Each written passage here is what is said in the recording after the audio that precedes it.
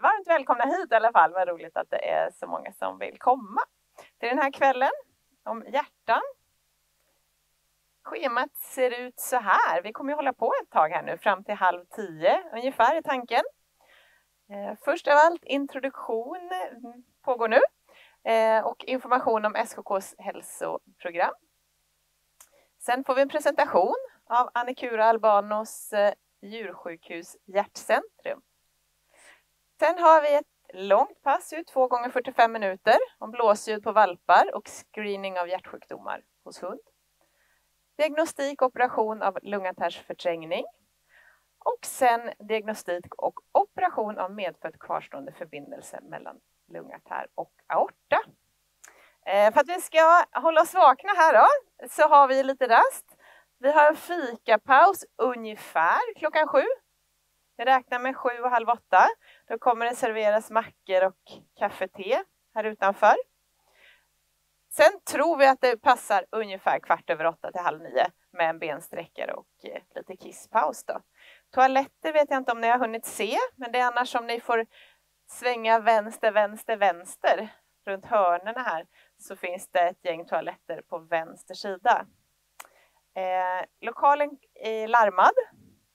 Att eh, man får inte smita ut någon annan gång i rasterna. Eh, och går man ut så kanske inte man kommer in. Vi kan inte ställa upp dörrar. Men håller man sig på rasttid så ser vi till såklart att ni blir insläppta. Men ni kan inte ställa upp dörren för då är det risk att, att larmet går.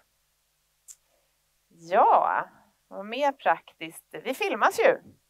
Eh, och det är ju på önskemål från alla som bor eh, längre bort och inte har möjlighet att vara här. Så tanken är att lägga ut det på webben. Eh, därför önskar vi att vi ställer alla frågor i slutet av varje pass. Inte i slutet av kvällen, men i slutet av varje föreläsning. Och då ska vi se om vi får fart på den här handmikrofonen så vi kan springa runt med den så att frågorna hörs så att man förstår vad de svarar på helt enkelt. Ehm, ja. Och sen kan vi väl berätta vilka vi är. Vi är ju fyra stycken här som jobbar på kansliet från avdelningen för avel och hälsa. Eh, och Anne Buchs heter jag, jag är avelskonsulent, jobbar mycket med ras, kontakt med många rasklubbar. Sofia Malm, genetiskt sakkunnig, expert på index och DNA-tester. Lotta Olsson, som också handlar mycket praktiskt här, så ni kan haffa henne om det är någonting ni undrar över. Eh, hon, jag har en fusklapp här nu, hon är sekreterare för arbetsgruppen för att främja exteriör sundhet. Hon är också BRAC-koordinator. Och så har vi vår chef för avdelningen, Helena Skarp här, som jag lämnar över ordet till. Då kör vi vidare. Eh, vi kommer ju få en spännande kväll hoppas jag och som kommer handla om hjärtan. Eh, jag hoppas på att få lära mig jättemycket. Eh, men innan vi drar igång och bara pratar om hjärtan så ska jag säga några ord om hälsoprogram för att vi misstänker att det kan komma lite frågor om sånt sen efterhand. Ehm, och då pratar vi alltså inte bara hjärtan utan hälsoprogram i största allmänhet. Många av er är ju... Okej, okay. försöka ha den lite närmare. Så, är det bättre? Ja, bra, ni säger till. Ehm, jo, Många av er är ju gamla i gården och kan det här, men det är också en del nya, i alla fall för mig, nya ansikten här.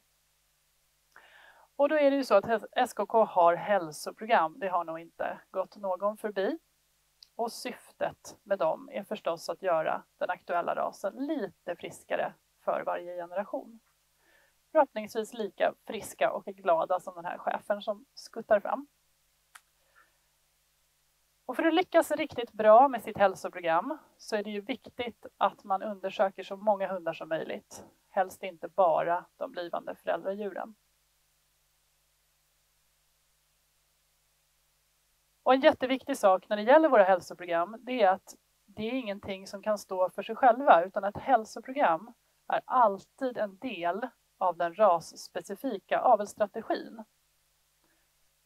Så att man gör en strategi först och sen kan det bli tal om hälsoprogram som ett verktyg för att nå upp till de här målen som man har i sin ras. Och blir man nu sugen på att skaffa ett hälsoprogram, kanske kring hjärtan, vad vet jag, så är det som så att det är RAS och specialklubb som ansöker till SKK om att få ett sånt här hälsoprogram. Och då måste man ha en ansökan som förstås är väl grundad och väl dokumenterad med just problematiken för den specifika rasen och vad det är för typ av undersökning man har tänkt sig och så vidare. Och har man då gjort det som ras och specialklubb så är det SKKs avelskommitté sen då som tar ett beslut. Det här är den vanliga gången. I alla fall. Och hälsoprogram finns på olika nivåer. Ni vet ju alla att det finns hälsoprogram på nivå 1, det kallas, som kallas för central registrering. Och det har vi till exempel för alla raser på höfter och ögonsjukdomar till exempel, ehm, om man inte har en högre nivå. Alla som vill kan höftledsröntga sin hund oavsett ras och få resultatet registrerat i SKKs databas. I hunddata och avelsdata syns det på internet för alla. Ehm, men är det på nivå 1 så finns det alltså inga krav på något sätt utan man har möjlighet att undersöka sin hund om man vill. Är det ett hälsoprogram som är infört på nivå 2, ja då blir det plötsligt krav. Då måste man undersöka de hundar som ska gå i avel. Men det är inget krav på något visst resultat. Utan eh, man kan man är tvungen att undersöka men man är inte tvungen att ha kanske en utan anmärkning eller så. Och där vill jag lägga in en liten brasklapp. För det är ju så att avelskommittén har gjort lite uttalanden som gäller alla raser. Och det vet ni på höftledsdysplasi till exempel att man får inte avla på en hund med HD-grad E och så vidare. Det finns såna här lite brasklappar där. Och sen har vi nivå 3. Och det är också krav på centralt registrerat resultat. Men här har vi plötsligt krav på ett visst specifikt resultat. Så det här kan vara bra att ha med sig lite grann. Och vi har ju massor med hälsoprogram idag. Vi har för höfter, vi har för en massa olika DNA-tester. Vi har för ögonsjukdomar, vi har för hjärtan, patella, massor med annat också. Och tittar vi specifikt på hjärtan så är det de här raserna som har hälsoprogram idag. Vi har Cavalier, King Charles Spaniel och King Charles Spaniel som har en typ av eh, hälsoprogram för hjärta med en viss typ av undersökning och viss typ av problematik i de här två raserna. Men man har olika nivåer så att Cavalier King Charles Spaniel har nivå 3, alltså krav, höga krav på att det ska vara UA. Medan King Charles Spaniel har hälsoprogram på nivå 1 idag. Eh, och vi har Dobermann som har en annan typ av hjärtproblematik och en annan typ av undersökningsmetod. Och de har ett hälsoprogram på nivå 1 som startar nu vid årsskiftet 2020. Så det är det vi har idag. Ehm, och det man ska tänka på när det gäller hälsoprogram också kan man ju säga det att man kan ju alltid förändra nivåerna i sin rasklubb. Om man upptäcker att man ligger på en för hög nivå eller en för låg nivå så kan man ansöka till SKKs avelskommitté. Mm. Detta om hälsoprogram. Det är ju så att den här föreläsningen filmas och det gör vi som sagt för att alla där ute ska få en chans att titta och när filmen är klar så kommer den att läggas upp på SKK Play. Och jag vill slå ett slag för SKK Play. Alla ni som inte varit inne och kikat där, gör det.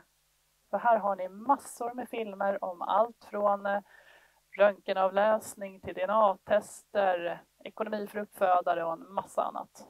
Så gå in och titta där tycker jag. Med det så tänkte jag lämna över ordet till Anna och jag vill också passa på att tacka så jättemycket för det här initiativet för den här kvällen som faktiskt kommer ifrån Anna och hennes gäng. Så jag är jätteglad för det. Välkommen!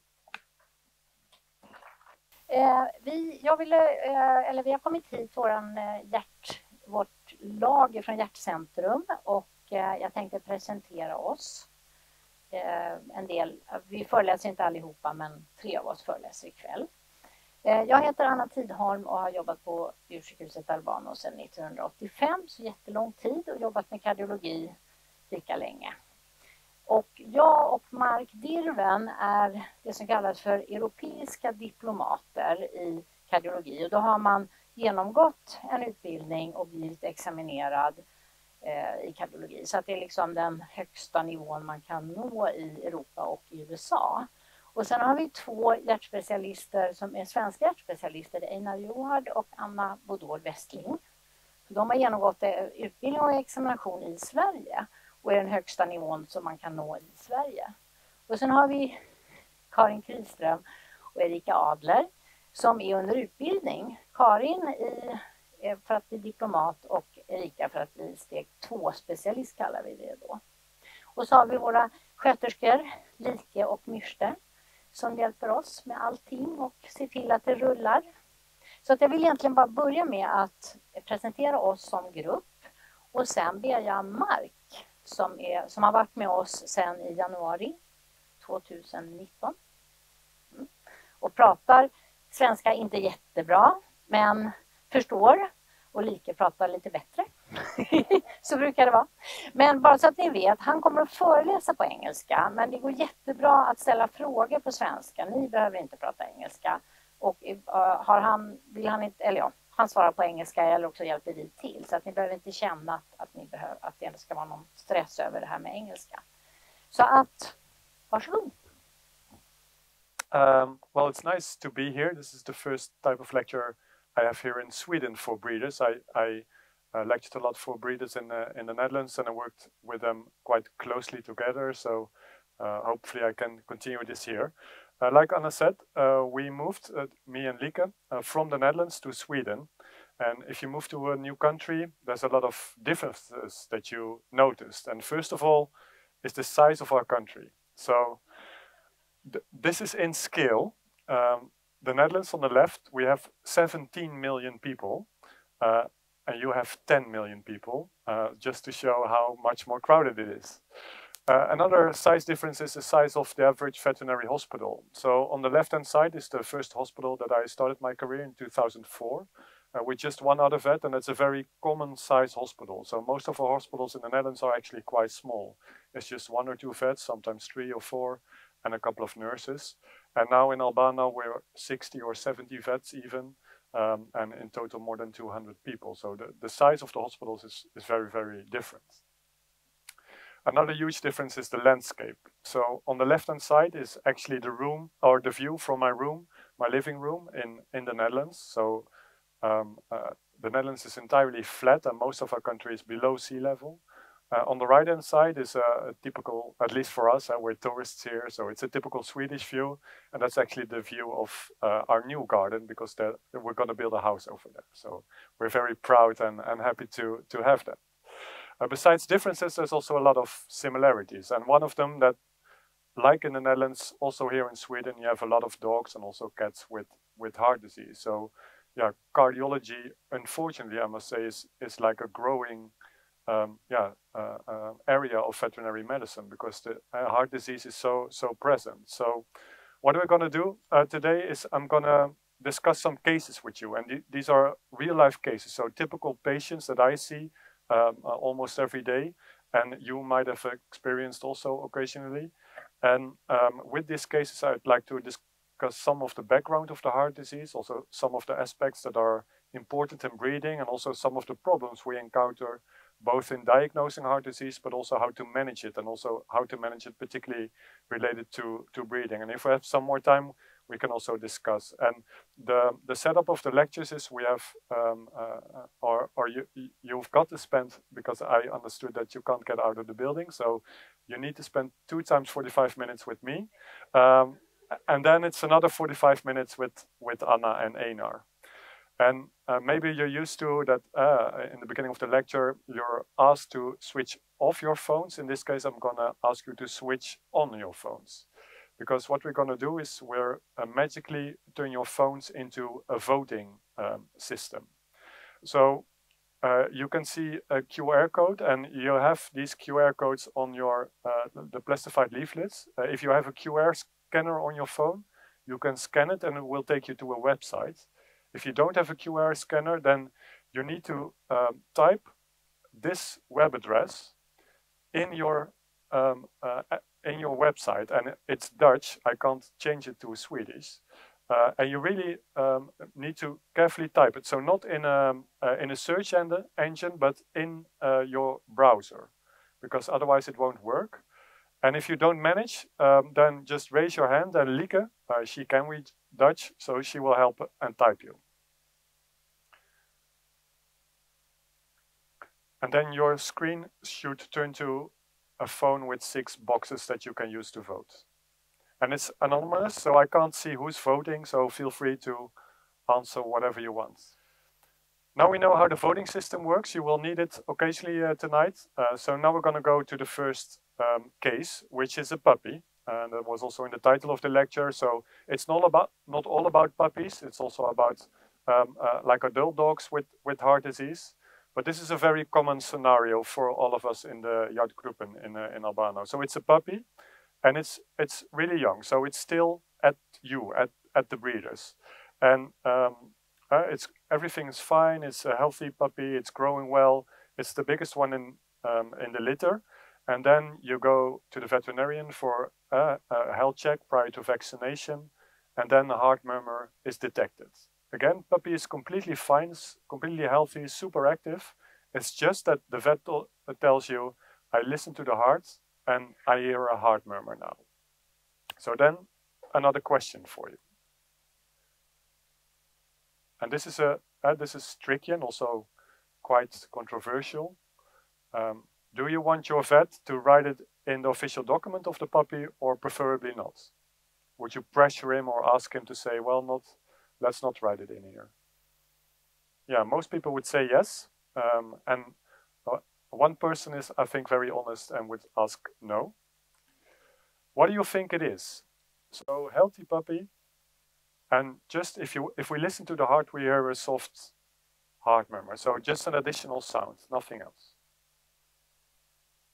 Do you think it's an innocent murmur, uh, or do you think it's it's definitely heart disease, or wouldn't you know? Could also be the case. Uh, so most people wouldn't know. Um, some people would presume it's innocent, and others um, think it's congenital heart disease. And I'll address the answers, of course, later on. So knowing that it's a heart murmur and nothing else, what would you suggest to do? Um, so, and this means at this moment. So it's still at the breeders.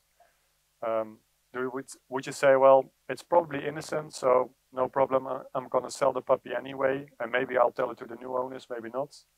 Or would you say, well, the puppy is still with me, I want to go for additional testing, um, now or later on? Or would you say, oh, maybe it's a, uh, like a concealed defect or a hidden defect, I'm going to euthanize the puppy? Well, fortunately, the puppy is still alive, which is a good thing, I guess. And it's, yeah, different people doing different things. And this makes sense, and this is more or less similar uh, uh as I'm used to in the Netherlands. So, about a heart murmur, what's very important to realize that a heart murmur or a blåsljud, it's not a disease, it's just something we detect. So we do a physical examination, and normally you would hear closing of the valves. Like if you listen on TV, you would hear da-dum, da-dum, da-dum. That's normal closing of the valves within the heart. If there's a blåsljud, there's an additional sound, and there's different types of additional sounds. And these additional sounds are caused by turbulent blood flow. So usually blood flow has, uh, is very steady and quite slow, but for some reason Either there's a lot of turbulence in the blood flow or it speeds up. And it might be related to congenital heart disease, but in puppies, sometimes it's uh, there without any type of heart disease. And we know from research being done, uh, especially in this breed, in, in Cairn Terrier puppies, a colleague of mine from the Netherlands did a, a, research project on this. What he did, he listened to a lot of Cairn Terrier puppies that were brought to the university hospital for screening for intrahepatic shunt. So for something completely else. But they came to the university hospital anyway. So what he did, and he's a cardiologist as well, so he has very trained ears. So he listened to all of them. And all of these puppies were apparently health, healthy according to the breeder. And he was able, with his trained ears, uh, it's, it's a, he's a cardiologist, so the only thing he does, like I do, is, is listen to heart, so we're very good in it. But he was able to detect murmurs in one in five puppies, which is a lot. Um, and it might be less in other breeds or less if your veterinarian has less trained ears. But this is just to show that it's not very rare to hear a heart murmur in a puppy. And the same is true for children. So many, many children have heart murmurs. What he did then is to look, uh, uh, um, take the puppies with the heart murmurs and look at them more closely. And of the puppies with a heart murmur, actually only 1% had congenital heart disease. So 20% of puppies, Cairn Terrier puppies, had heart murmurs, and of the puppies with a heart murmur, only one had congenital heart disease. So many of these murmurs are innocent, and some of them are not. So the ones are not are murmurs that are caused by congenital heart disease. And there's quite a lot of misconceptions about, about murmurs in general, uh, especially in puppies. So this is, these are all things that I heard from breeders or new owners that were taught this by, by breeders. They would say, well, the puppy is doing fine, so how can this be congenital heart disease? It must be an innocent murmur. Or there's no history of heart disease in the family, so why wouldn't suddenly be heart disease in my puppy now? Or um, uh, this is also something I heard sometimes that now I won't refer you to a cardiologist yet, but because the puppy is too small, so they can't do further diagnostic test on it. All these statements are completely false. So they're not true. Um, these statements are true. So also me, I have trained ears as well, and every time I hear a, a heart murmur, I can immediately do an echo, so I can uh, uh, teach myself, oh, this sound is with this heart disease, and that sound is with that heart disease. But I can never be sure just by listening that this is an innocent murmur. Sometimes, if the murmur is very loud or has very typical characteristics, I would be able to say, I'm 100% sure it's not an innocent murmur. But if it's a very soft murmur, a very short duration of the sound, um, then I wouldn't know. It could be congenital heart disease or it could be an innocent murmur. We need further testing. But all these heart diseases or all these statements are right. Another thing we know about innocent murmurs, so murmurs not related to heart disease, that later on in life they will disappear. So usually we, I, I taught my students that uh, around six months of age, the innocent murmur should have disappeared. So if it's still there, then it's not innocent. Well, it turns out that's also not completely true. So also from these Cairn Terrier puppies with heart murmurs, my colleague also looked at how long the murmurs persisted. So what you can see in this graph here is um, how long it took from having a murmur until not having a murmur. So here at this day, day 50, all the puppies still have murmurs. And then every time the line goes down, uh, the murmur disappears. So these are the ones with the innocent murmurs. And you can see in many of them, within 100, 120 days, so that's the three months or four months, the murmur has disappeared. But in some of them, a year later, the innocent murmur is still present. So why is this important? Well, this is important if you tell to your buyer of your puppies to say, well, just wait and see. And if the murmur disappears, then it's been innocent. But if it doesn't disappear, then it's probably congenital heart disease. But how long should you wait?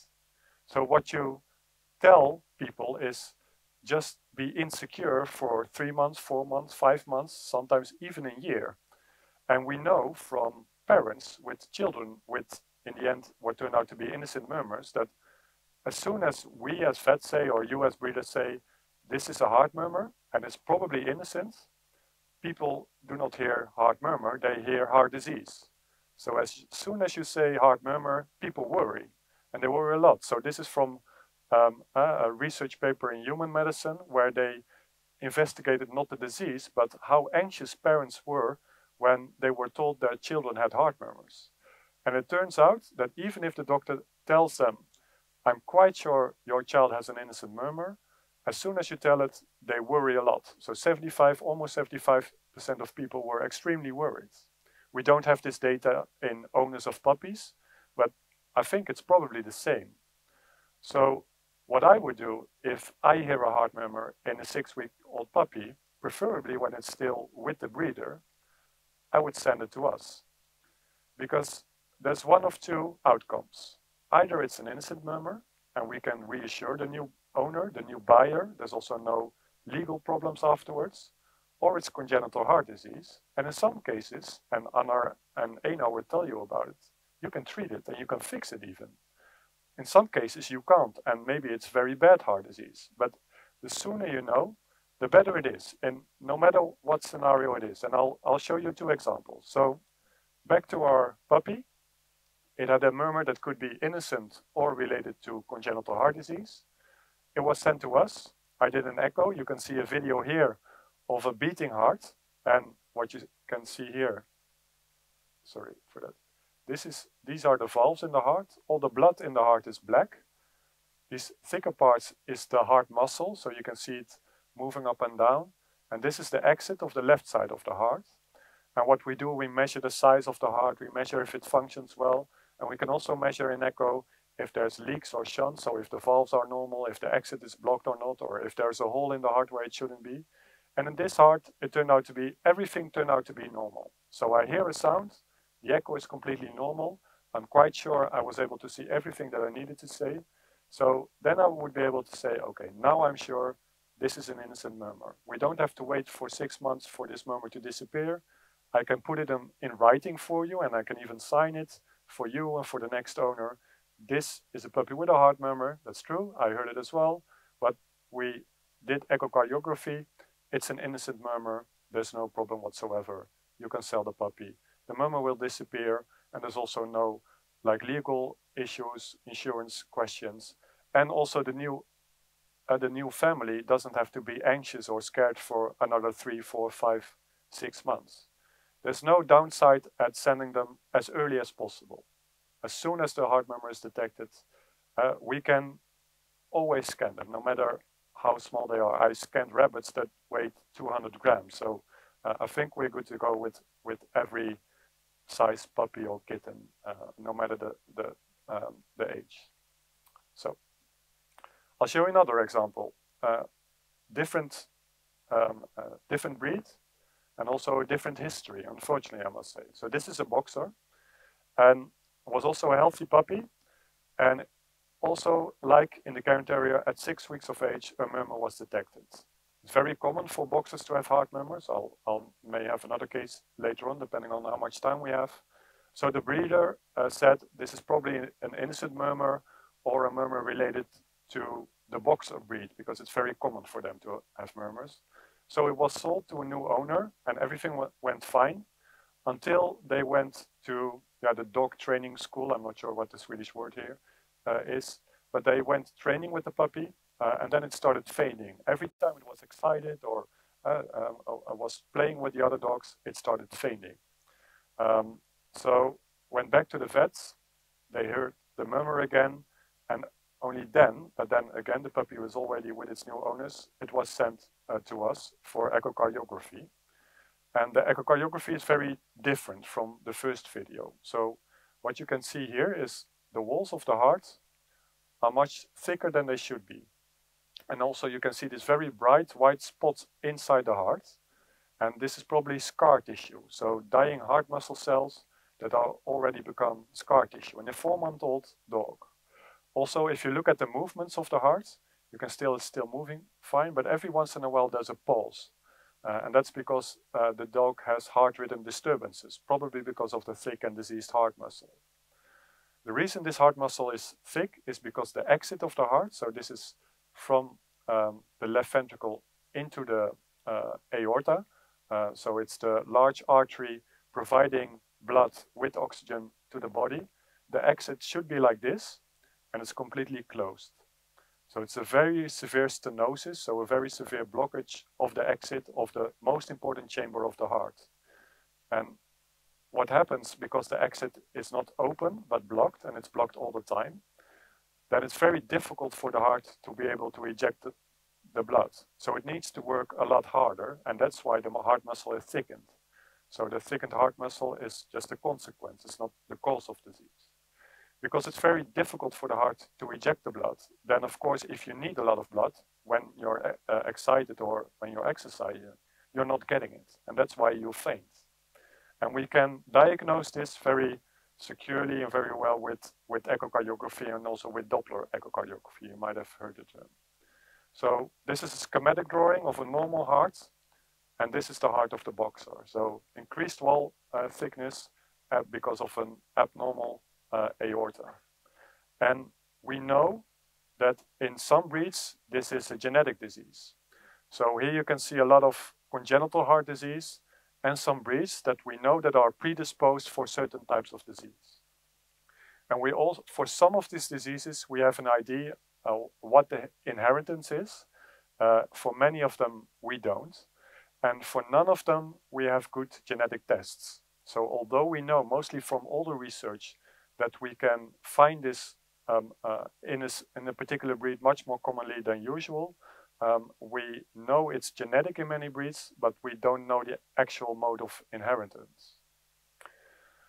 What we know that the the block of the aorta, so the, uh, the uh, narrowing of the exit of the left side of the heart is in the top three of most common heart diseases in dogs. And it's the most common heart disease in boxer dogs. And what happens with this disease sometimes, it's they are born with a relatively mild um, uh, uh, form of this disease. So only like a mild narrowing. And then during growth, it can get worse. That's one scenario. The other scenario would be that you're immediately born with a very narrow exit. And because of the narrow exit, the heart has to work increasingly hard and harder and harder and harder and harder uh, until one day it can't cope anymore. And initially it's, it can't cope anymore with exercise, but later on the heart will just give up. Uh, and also during rest, the puppy will be symptomatic. And we know that this is very bad heart disease. And we also know the more severe the exit is blocked, the sooner you will die. So what you see here uh, is a graph with dogs with a severe obstruction of the exit of the heart, the main exit of the heart. And every time the line goes down, a dog dies of heart disease. And uh, this is different types, oh sorry, this is different types of severity. So the faster the line goes down, uh, the sooner you die. And this is a, a difference between um, very severe, uh, um, uh, like narrowing of the exit, and um, severe narrowing of the exit. So, and if it's very mild, these dogs will live normal lives. If it's very severe, they may become symptomatic or even die uh, quite soon. And the problem is, with this disease, we can't treat it. So a lot of things have been tried. Uh, they've tried to treat it with drugs. Uh, with drugs, we have some drugs that can decrease the thickening of the heart muscle, but that's not really the problem. The problem is in the exit, uh, and we can't. We don't have like very effective tools to treat this heart disease.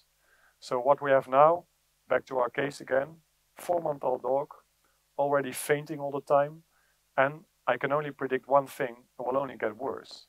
And I think, especially with this breed, boxers should be active, maybe even hyperactive, at least the ones in the Netherlands are. Um, this is not a good quality of life for this dog. So I discussed with the owner and we euthanized this dog. If I would have diagnosed this severe disease at six weeks of age while the puppy was still with the breeder, I would have advised the breeder to euthanize the dog there and then and not sell it to a new owner to prevent a lot of harm to the dog, but also to all the people involved. So this is two completely different scenarios of a puppy with a heart murmur. And both of these scenarios, that's, that's the take home message. The sooner you know, the better it is. There's really no downside in, in looking at this uh, case. So now we move on to the adult ones. Cavalier King Charles, you already saw this breed mentioned in the slide. Um, it's a two years old female dog intended for breeding. And just very recently, a heart murmur was detected. So when she was a puppy, there was no heart murmur. And this is the first time the heart murmur was detected. So similar questions for you again. So you can vote. What's your diagnosis now? Again, it's an adult dog with a new heart murmur. Is it an innocent heart murmur? Is it definitely a heart murmur related to heart disease? Or wouldn't you know?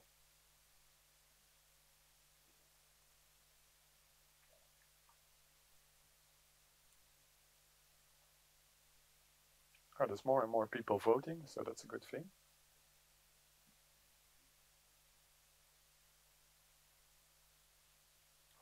Sorry. No, this one doesn't work, so we go to the next one. This is just to test your knowledge. Is heart disease common in the Cavalier King Charles Spaniel?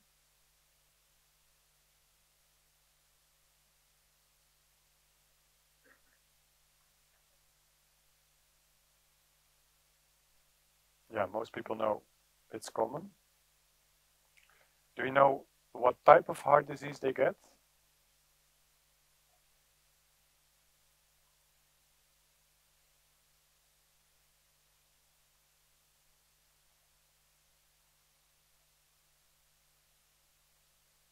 I just put in a lot of difficult words to confuse you.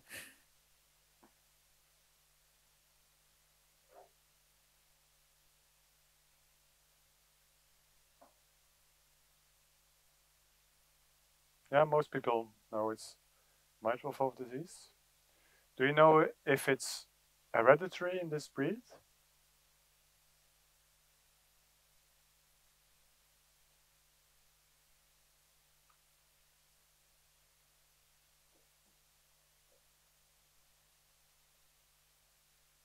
Yeah, most people think it is.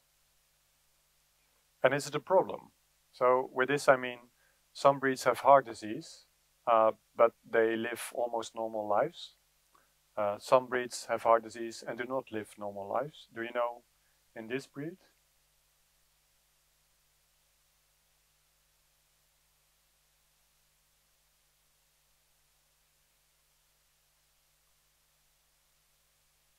Yeah, most people think it does. Now regarding the screening. So again, this is breed screening uh, prior to, um, to breeding. Do you think there's no need for screening? So uh, that screening programs so far have not been very effective. Do you think that screening should be should be done, otherwise you can't breed, or do you think it should be voluntary? And we just saw in the slides that uh, now here in Sweden you need to screen before you breed, but that's not true in all the countries. But do you agree with that? So, or do you think, well, maybe we don't need the screening at all? Ah, this is the first time that everyone agrees. so we can skip this one. So now, how should we screen? Of course, there's different tests, also with different availability. Uh, I mean, you can't do an echo everywhere, but there's a lot of vets that can do auscultation, so listening to the heart. Uh, genetic testing would be perfect, of course. You just take some blood and you send it to a lab.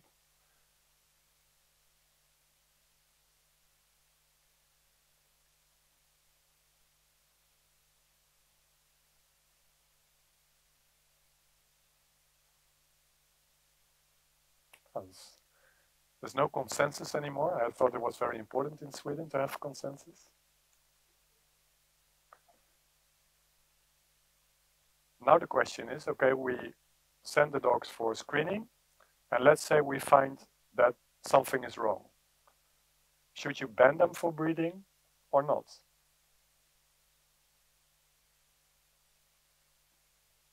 So if you have disease, should you be allowed to definitely not breed, sometimes breed, or we should all breed them, the more the merrier.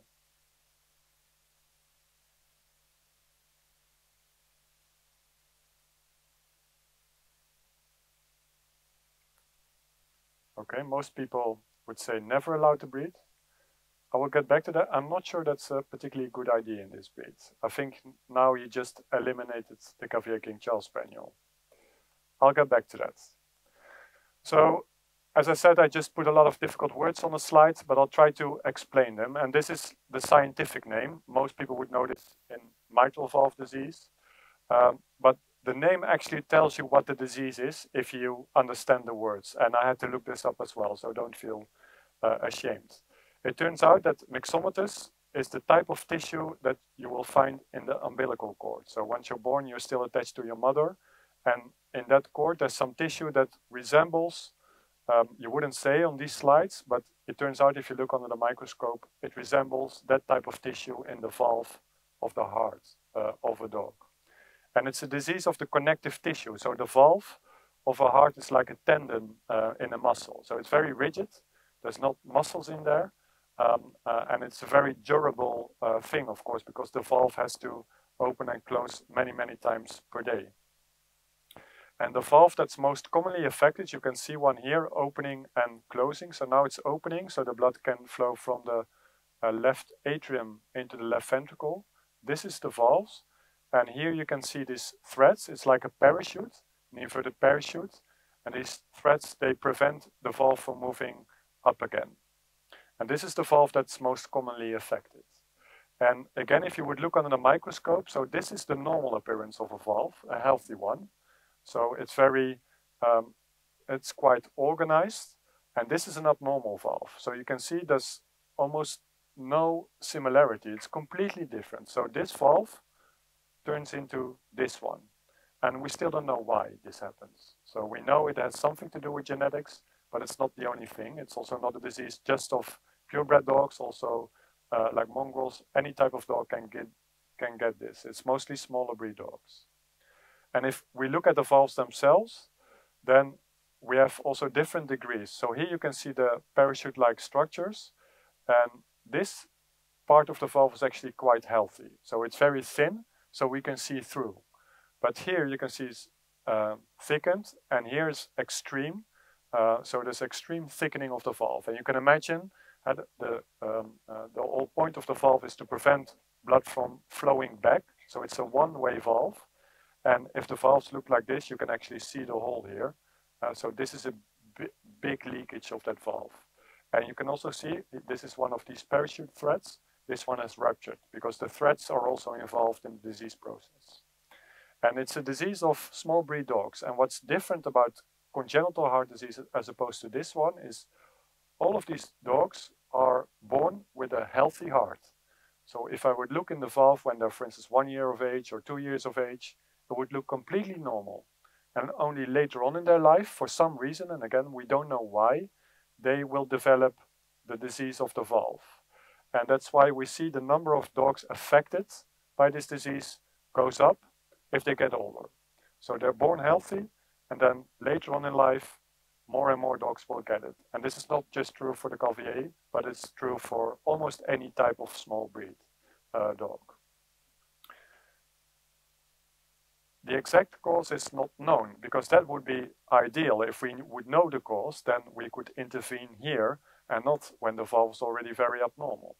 But we know that at least some genetic aspects play a role. What they are and which genes are involved, we still don't know. So that's why we still don't have genetic tests. And even though it's genetic, it's not simple genetics. It's not like some of the hair colors that, that you can just pinpoint, okay, it's this uh, mutation on this gene. So if we do this and this, we get a different color. That's not how this works. It's very complicated and very complicated genetics. And it might take ages for us to find out how this works. And that's all bad. What the good thing is, if you get disease, it's better to get it very slowly. So many of these dogs have a leaking valve, but they live for years and years and years and years, completely normal, happy, healthy lives. You wouldn't notice something is wrong. It's only every time we go to the vet, we will say, ah, I hear the leakage of the valve. And it's actually the leakage of the valve that's giving the heart murmur.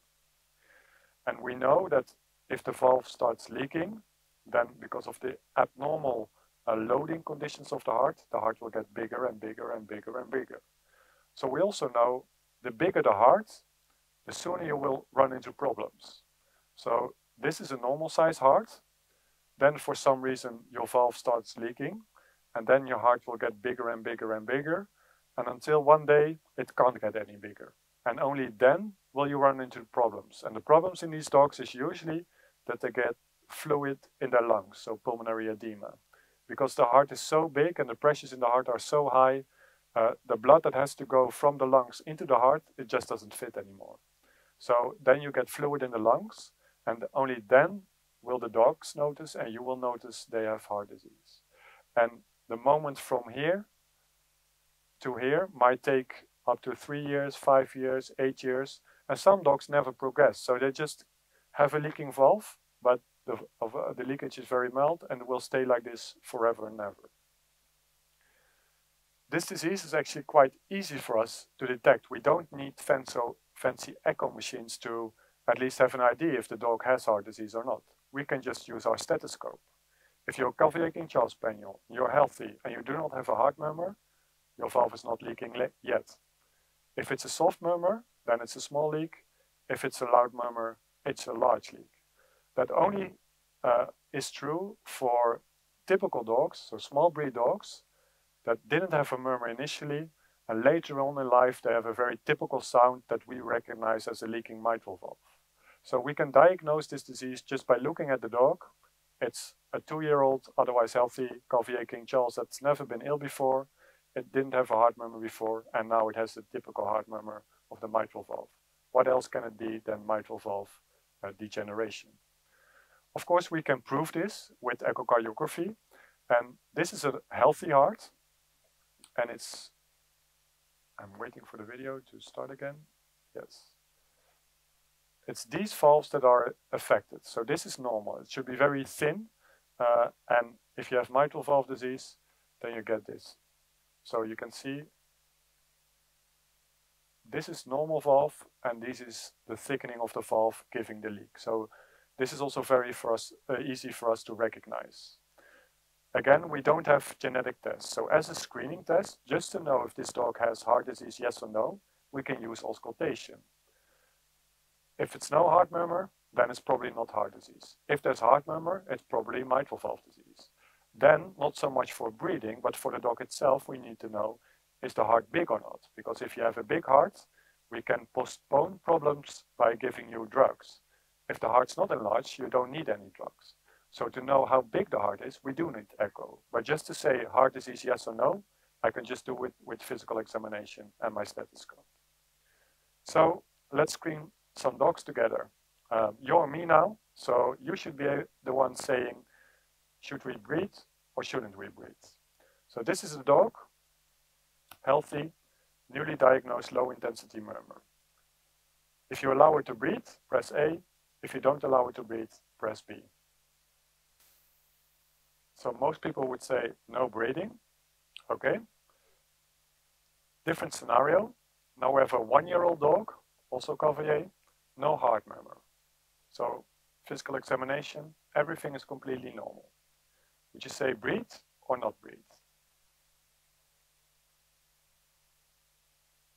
I mean, we if we want to keep this breed, we need to breathe with some of them. So you can't say no breathing all the time.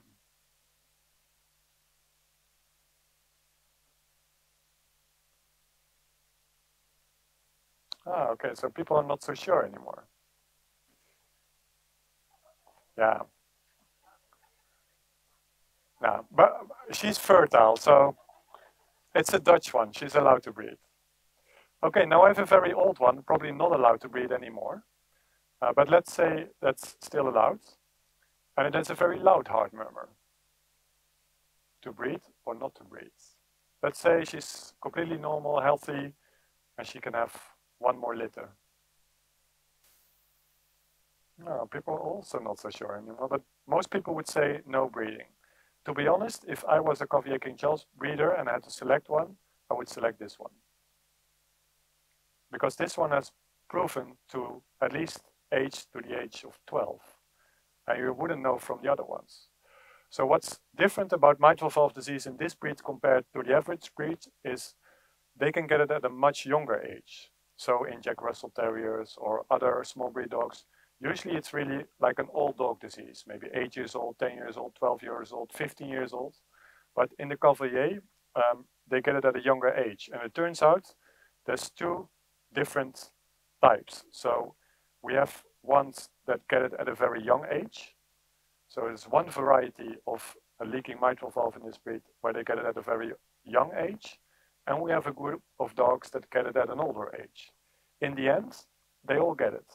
So 100% of Cavalier King Charles Spaniels will be affected by this disease. So if you would say heart murmur, no breeding, um, then there's no dogs left. So that's also the problem in screening for disease. It doesn't make sense just to screen a few dogs because then you only know the result of these dogs. What we need to know is how many dogs in this particular breed are affected. Because if all of them are affected and you want to keep this breed, you need to know, okay, which one is the least affected and which one will grow the oldest. And we know again in this breed, there's two different types. There's a young dog variety and an old dog variety. And if you would breed with the old dog variety, then at least you get dogs that still get the disease, but get it much later in life. So they pr probably also die from the disease much later in life. because the age when you get this is very important. If you're a Jack Russell Terrier and your mitral valve starts leaking at the age of 15, you will probably die of something completely different, like a tumor or kidney disease, when you're 18. And you're not living long enough to develop heart failure. Whereas if you're a two-year-old King Charles Spaniel, completely healthy, of course, you're probably going to make it till seven or eight. So you're probably going to grow old enough to get congestive heart failure and die because of your heart disease. And we know from the Swedish insurance data that heart disease is a very common cause of dying Cavalier King Charles Spaniels. So this is um, uh, uh, uh, this graph is showing the the higher the line, the more important it is uh, for um, the bad health in this breed. And you can see heart disease, it's the, the red dots, and it's the single most uh, important cause of dying Cavalier Kings, King Charles Spaniels here in Sweden. And we know from the UK and also from here that around 40% of these dogs will develop uh, heart failure. We can treat them for a while, but in the end, we have to euthanize them because of their heart disease. So it's really, really bad disease. So the later they get it, I mean, they're all going to get it. So at least go for the late onset variety instead of the early onset. Then many people agreed, well, we probably should screen. Uh, but if we look at what's been done so far, and this is true not only for heart screening, but also for screening in, in some other diseases like hip dysplasia. So far, as far as we know, screening programs have not been extremely effective. And that's not saying that screening is not a good idea. It's just an argument that if you're going to start screening, you have to re really think carefully, okay, how are we going to screen them? How many dogs are we going to screen? What are we going to do with the results? Who is allowed to access the result? Are we looking at breeding dogs only? Are we looking at pedigrees or are we looking at disease only? And this is different uh, screening programs in mitral valve disease from the Sweden or the UK. And so far, they've not been very successful.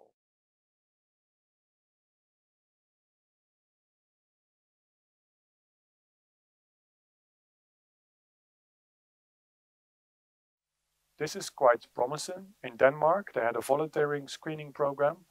And what they saw is that at least the dogs in the screening program, so the ones that were voluntary screened, uh, within a few years, they were able to get the heart murmurs later on in life. So they changed the early onset variety to the later onset variety compared to the dogs that were not screened. So just to show you that screening sometimes is effective, but it's very difficult to design a good screening program. And again, screening is not saying having the disease yes or no. That's the easy part. We can do that for you. But then we also have to know, okay, how many dogs are affected? If all of them are affected, who is allowed to breed? How we're we going to monitor this? And in many cases, will turn out we only make progress in a few years or maybe even a few decades. But we have to start somewhere. So I think now is a good time for a break.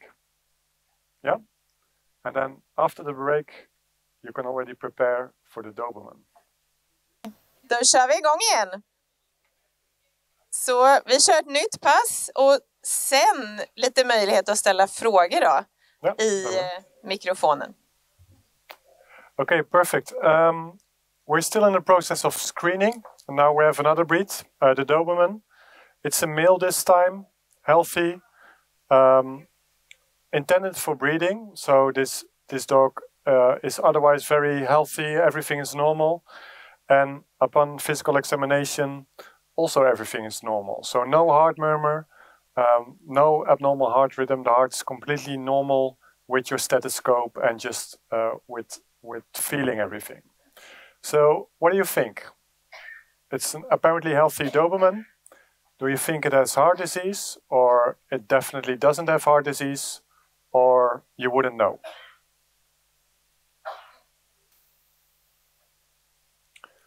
Ah, so mixed feelings about this. Do you think in the Doberman heart disease is common or not? Yeah, most people think it is. Then if so, what type of heart disease is common in the Doberman? The most common heart disease in this breed? Yeah, most people would go for dilated cardiomyopathy. is it hereditary in this breed? So do you think it goes from one generation to the next? Most people think it is, some wouldn't know. Is it bad for them? So if they get it, do you die? Yeah, most people think it is. Now back to the screening. So like in the Cavalier, do you think this breed has to be screened? Or maybe start a voluntary program or should they all be screened prior to breeding? Yeah, most people think it's a good idea to screen them. Then how should you screen them? So just with your stethoscope, that's auscultation, or with the ultrasound machine, so we can do an echocardiography, or should we do electrocardiography, or do genetic testing? There are some genetic tests available for the Doberman, in contrast to the um, to the Cavalier. I'll get back to that later. And remember, the Cavalier was was easy. We could just screen them with auscultation. That's actually a very good screening test.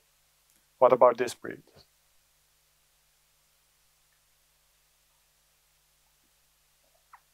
Most people would go for echocardiography, some for genetic testing.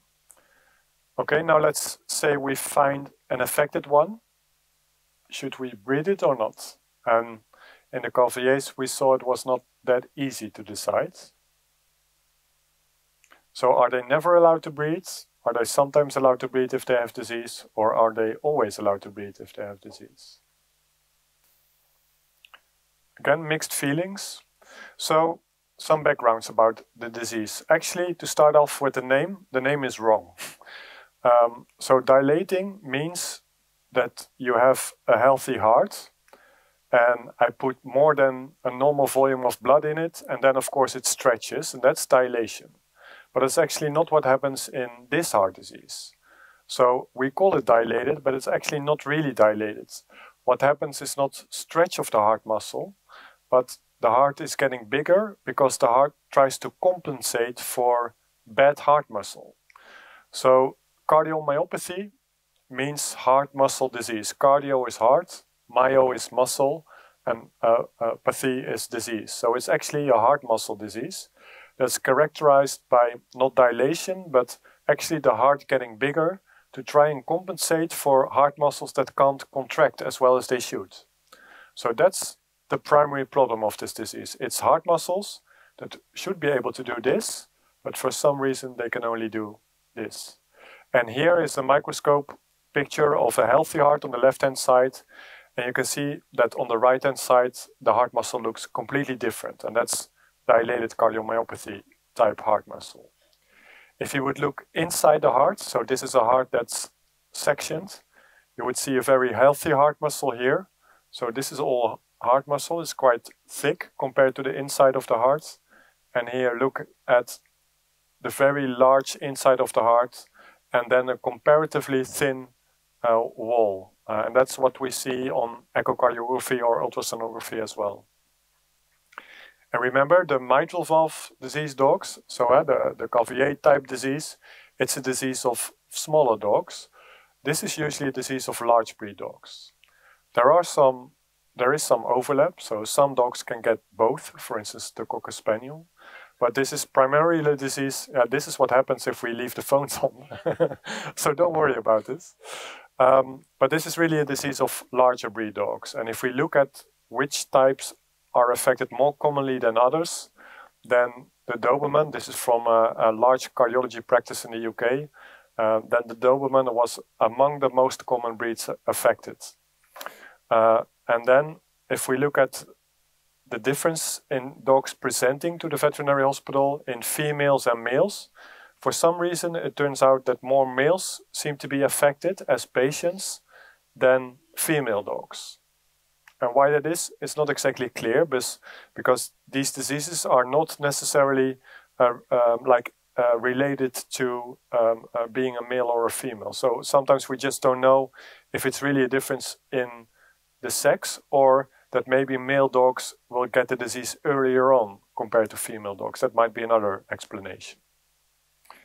If we go to the Doberman, then we actually know quite a lot about this disease in the Doberman because in Germany, there's a quite a famous veterinary cardiologist that put a lot of time and effort in looking into the, this, this disease in the German Doberman.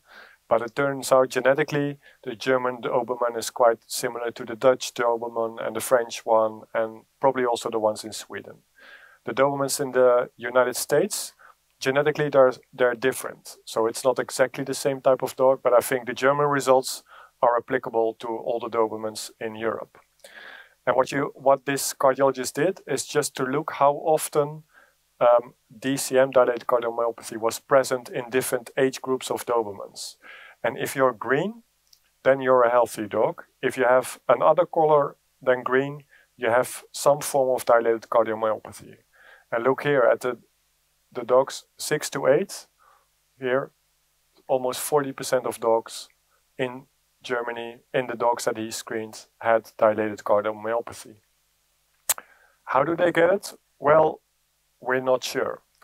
Of course, if we see a disease in a single breed much more often than we see it in the average dog, it must be genetic.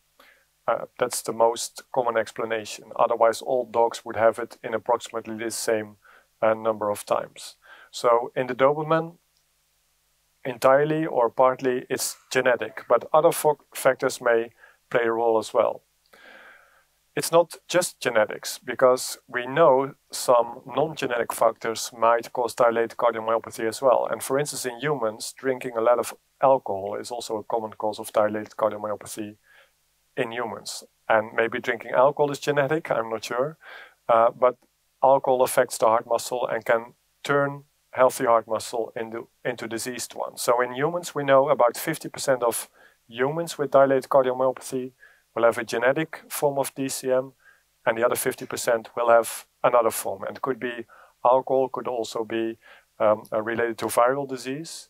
And we know in dogs there are also other causes, and in cats as well. And one of the other causes is actually the diet. So we know that taurine, which is an, uh, an amino acid, so it's part of a protein that you need to eat every day, uh, or uh, a part of a protein protein that you synthesize yourself is also important. Uh, proteins are important in making muscle. So if something is wrong with your proteins, then that might lead to muscle problems. And we know that taurine is something that, for instance, cats, if you're a cat, you need taurine, and the only way to get taurine is to eat it, because cats can't make taurine themselves. So if a cat's deficient in taurine, um, then they will get dilated cardiomyopathy. And up until 1987, most feline diets, most cat diets, were actually um, uh, uh, they were short in taurine, so they had too low taurine levels. So dilated cardiomyopathy was very common in cats up until 1987, when someone found out that we should have more in the diet. And afterwards, it's very, very rare in cats. And what happens um, uh, if, if you're deficient in taurine, then the heart muscle is diseased, it's not able to contract very well. You can see this here. So this is a heart muscle that's contracting normally over time. So here the heart is filling, here the muscle is contracting. You can see it's getting thicker. And here you have a cat that's taurine deficient uh, the heart muscle can't contract anymore. And what's nice about taurine deficient dilated cardiomyopathy, you just give extra taurine and the heart can go back to normal, which is very different from genetic dilated cardiomyopathy, which is progressive and there's no cure for it. And there's a lot of interest nowadays for taurine deficiency in dogs as well. Dogs can make taurine out of other uh, amino acids, so they do not necessarily need a lot of taurine in their diet. But we think some dogs might need extra taurine because they have a problem where they can't take it out of the diet or something is wrong with their taurine. So people are looking into it in the relationship between taurine deficiency and dilated cardiomyopathy. It's not as clear cut as it is in the cat, but you might hear from it or maybe already heard from it. And actually, I have one colleague, Karen, she's doing a research project in dilated cardiomyopathy uh, in the Cocker Spaniel now. And if you have a Cocker Spaniel and your vet thinks it's dilated cardiomyopathy, then you should call us because we're really interested in, in getting more of these cases. In some of the breeds that we know that are affected by uh, dilated cardiomyopathy, people have also looked at taurine levels. So not so much in the Doberman, but I know this from the Irish Wolfhound. There's a um, uh, in in Germany um, uh, a cardiologist that uh, has followed these dogs for a very long period of time, and she looked at hey maybe the Irish Wolfhound has taurine deficiency as a cause of their dilated cardiomyopathy. And what she did, she try to figure out the relationship between taurine levels in the blood and dilated cardiomyopathy. And she couldn't find the connection. So we know in the Irish Wolfhound, for instance, taurine doesn't seem to play a role and is probably genetic, um, like um, uh, in, in some of the other breeds. Like the mitral valve disease, dilated cardiomyopathy is an acquired heart disease. So all dogs with dilated cardiomyopathy, they are born with a healthy heart. And only later on in life, the heart disease is uh, uh, getting tired and not functioning properly anymore. So, although it's a genetic disease, they are still born with a healthy heart and pre programmed to have diseased heart muscle later on in their life.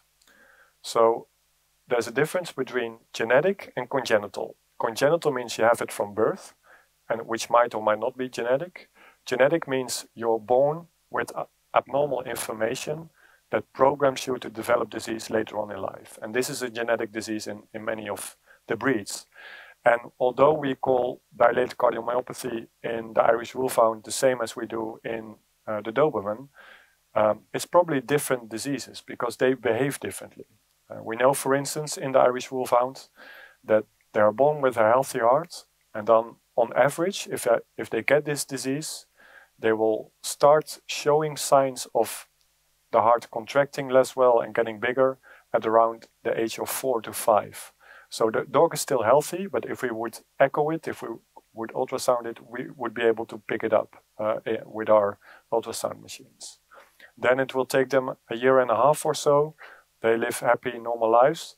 But then the heart's so big and so weak, they will run into trouble. And if they run into trouble, usually it's really the beginning of the end in this breed. Same is true for the Doberman. So they also have a phase where we can detect the disease, but the dog is still asymptomatic. But usually Dobermans get it slightly later on in life, so around six years of age. Then they're asymptomatic for a year and a half as well. And also in this breed, if they get it, it's usually really, really bad disease. In contrast to some Cocker Spaniels, for instance, which seem to live ages and ages with dilated cardiomyopathy, even if it's not taurine related. What's also very breed specific about dilated cardiomyopathy in the Doberman is that we recognize two different forms. So one of them is the heart muscle not contracting very well and the heart getting bigger. But there's also a form where the heart is either normal size or slightly bigger, uh, but they have heart rhythm disturbances. So the heart's not beating regular anymore. So average heart rate for a dog would be somewhere uh, between 60 and 120 beats per minute. But some of these dogs will have extra heartbeats that shouldn't be there, or they have very extremely fast abnormal heartbeats, sometimes three or 400 beats per minute. And they don't have it all the time, so they can have it now, and it's gone again. They have it now, and it's gone again. So it's very difficult for us to detect. And they can have it with a normal heart on echo or an abnormal heart on echo. And that's really specific for the Doberman. It's different in other dogs with dilated cardiomyopathy. The problem with this disease, for us as veterinarians, it's not characterized by a leaking valve, at least not initially. So we can't find it with physical examination. You can have very severe dilated cardiomyopathy, but if we use our, uh, our hands and our ears to try to detect the disease, the heart sounds normal, it feels normal, unless you have the rhythm disturbances. But we can't say after a physical examination, oh, this dog is definitely not affected, or this dog is definitely affected. There's no way of knowing. So we need additional tests. And one of the tests, of course, that you can use to measure the size of the heart, but also see if the heart's still contracting very well, is to look with ultrasound, with echocardiography. And this is a normal heart. And look at the heart muscle and how it's moving. So you can see a difference between the heart filling and the heart contracting. And also look at the ratio between the wall thickness here and the inside of the heart, which is approximately, if the heart is filling, is around 1 to 5. Now look at the dilated cardiomyopathy heart. So this heart is not only huge, it's not only a lot bigger, but it's not doing this, it's only doing this. So you can imagine there's no blood coming from this heart. So in the end, this will also cause problems for the heart. And sometimes it's clear like this, we can immediately see it on our ultrasound. Sometimes, of course, there's a gray area between what's still normal and what's slightly abnormal. And these are really difficult cases for us to detect. What we can do to uh, increase our ability to diagnose it, um, we can plot the movement of the heart muscle over time. So what we can do, if we say to our, our echo machine, okay, I want to follow the motions of the heart muscle under this green line. So I want to follow this piece over time, the inside of the heart over time, and the other part of the heart muscle over time. And then you get this image. So what you see here, this heart muscle is this heart muscle, only plotted over time. So this is very helpful in both measuring the heart and also looking at the difference between the heart filling here, from here to here, and also the heart contracting. So you can see the heart muscle is getting a lot thicker and the heart is really able to contract very well. So this is normal. This is dilated cardiomyopathy. This heart's not moving at all. And there's no difference between filling and contracting. So this is really, really bad heart disease. So this is one tool we use to diagnose this disease in most breeds with dilated cardiomyopathy. But in a Doberman, we also have the problem with the rhythm disturbances. So we wouldn't see them all the time with echo. We need another tool to find the rhythm disturbances. So what we need to do is we need to write the heart rhythm on paper, and that's electrocardiography or EKG. Um, and this is a normal heart rhythm, so you can see all these spikes. Uh, and I'm not going to go into details, but this is how it should look. And what you see here, this is the same type of spikes. So this one is normal, this one is normal, this one is normal, but this one is abnormal because it has a different shape. And also look at the, the pause between one electrical heartbeat and the second electrical heartbeat. This one is right in the middle, so it comes too early. So this is an abnormal rhythm. And they're not here all the time. Again, they're sometimes there, sometimes not there. So if we do this for 30 seconds and it's not there, that doesn't mean anything. We need to do this for a very long time. So what we can do is actually send the dog home with an EKG attached uh, to it, and then we can do it for 24 hours. Uh, and then we get a report, and we can just count how many normal heartbeats you have and how many abnormal you have. And if you have more than 50 abnormal heartbeats in 24 hours, uh, then we know it's probably bad for the Doberman. And in 24 hours, some dogs will have a lot of heartbeats. So this is 140,202 heartbeats. So that's a lot of data for us to analyze. Uh, and this dog had over 6,000 abnormal heartbeats. So remember, it should be less than 50, 50. It's over 6,000. So this is really bad disease. And on the outside, this dog is completely healthy. The only way to find this is to do the Holter electrocardiogram. There are some genetic tests available in the United States. And these genetic tests, the current ones, are very tricky to interpret. So we have one mutation, they call this the DCM1 mutation. And uh, it's a mutation, so a genetic abnormality in genetic information that tells us something about how the heart muscle um, uh, shoots, um, uh, uses its energy. And if you have this mutation in the United States, then we know 37% of the dogs will develop DCM. But remember, from the data we have from Germany, 40% of all Dobermans will develop this disease. So it's very difficult to interpret these numbers. Um, they also checked this mutation in European Dobermans with dilated cardiomyopathy, and they do not have this mutation. So either the American ones are different, um, uh, either like genetically different, or um, this mutation might not code for dilated cardiomyopathy. It's not very clear how to interpret these results. There's also a newer mutation, this is quite recent, and it's not been published in the scientific, scientific literature. So this is just from one of the investigators that looked into the mutations and Doberman DCM. And she had a talk about this on her website, but I can't read any scientific literature about this. And um, she tells us that 50% of the dogs with this mutation will develop DCM. If they have both mutations, then they are 30 times more likely to develop DCM than dogs without the mutations. But it's still true that some of the dogs with DCM do not have either of these mutations in the US as well. And we don't know if DCM2 mutation is present in the European Dobermans. So although there might be a link with these genes, it's not very clear. And it's so unclear that it's very difficult to use them as a screening tool. I think ideally, for all these genetic diseases, in the end, hopefully we will have genetic tests because then a puppy is born, we take DNA with a swab, and one day later we know do you have the disease or not. Uh, now we have to wait for the dogs to develop the disease. Then only then we can detect it, and it might be too late. Not only for the dog, but also because it's bred before. So that's how. This is what where we are now, and hopefully in the future we have much better tests. But right now, this is really tricky for me to interpret.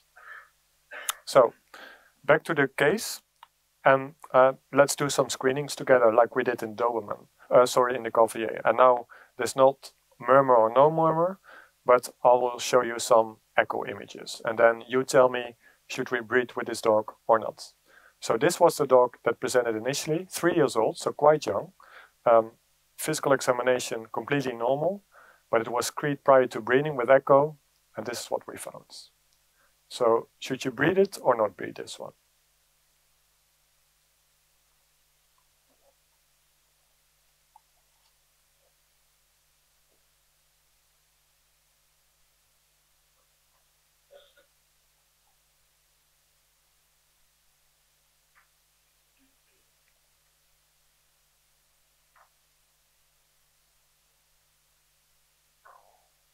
I also wouldn't breed with this one because it's a young one.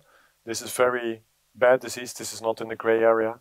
Um, so I wouldn't risk it unless all the other dogs have this disease as well. But we know there's also older ones. So this is a very young one with very bad disease. Probably not a good idea to breed. Let's say same dog, same age, echo, completely normal. Should you breed or not breed? And this is a three-year-old male dog. It's very common age to present to us for, for breed screening, of course.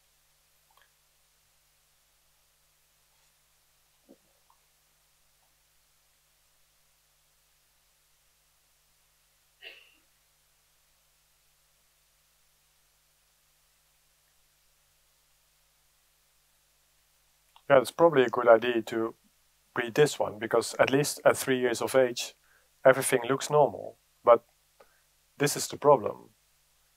Two years later. So maybe at four years of age, the heart would also still be completely normal. It's a male dog, so maybe it was a very good one. It had litter after litter. Um, but this is what we're doing right now. This is the best I can offer you. I can only say at three years of age, I can't see dilated cardiomyopathy, but I have no clue if it's not there, if the genetic information is not there. If this dog, uh, the, the three-year-old that is affected, very easy for us. Uh, yeah, you shouldn't breed with this. But I, I can never diagnose health in this breed screening. I can only diagnose disease, and that's really, really tricky and also very difficult for, for us and also for you. I mean, what should we do? So we have another one. Let's say this one now is six years old.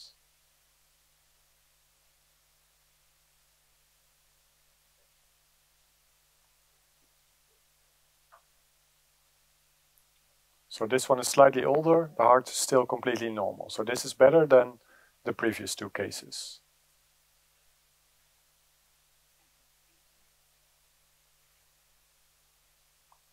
Yeah, it's probably a very good idea to breed. But remember what I told you.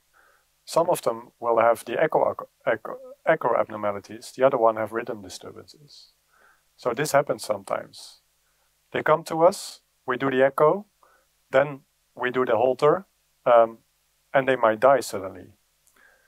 So it's one disease, but it's two completely unrelated things. And this is just to show you that you really need to think about which test are you going to use as a screening tool in which particular breed, because in some breeds, echo is probably enough to screen for dilated cardiomyopathy. But in this breed, just echo is not enough, and this might happen. And this is not a um, thing I'm making up. This is really what happens in these dogs. There's a lot of Dobermans dropping dead all of a sudden. And some of them would have completely normal hearts on echo. Some of them would have big hearts. But it's, it's two different things in a single breed. So now the genetic testing. Again, this is the future of testing, but this is with the current available tests. So let's say we have an American Doberman and we've drawn some blood and we send it to the lab in the US and it comes back that it has the DCM1 mutation. Should you breed it or not breed it?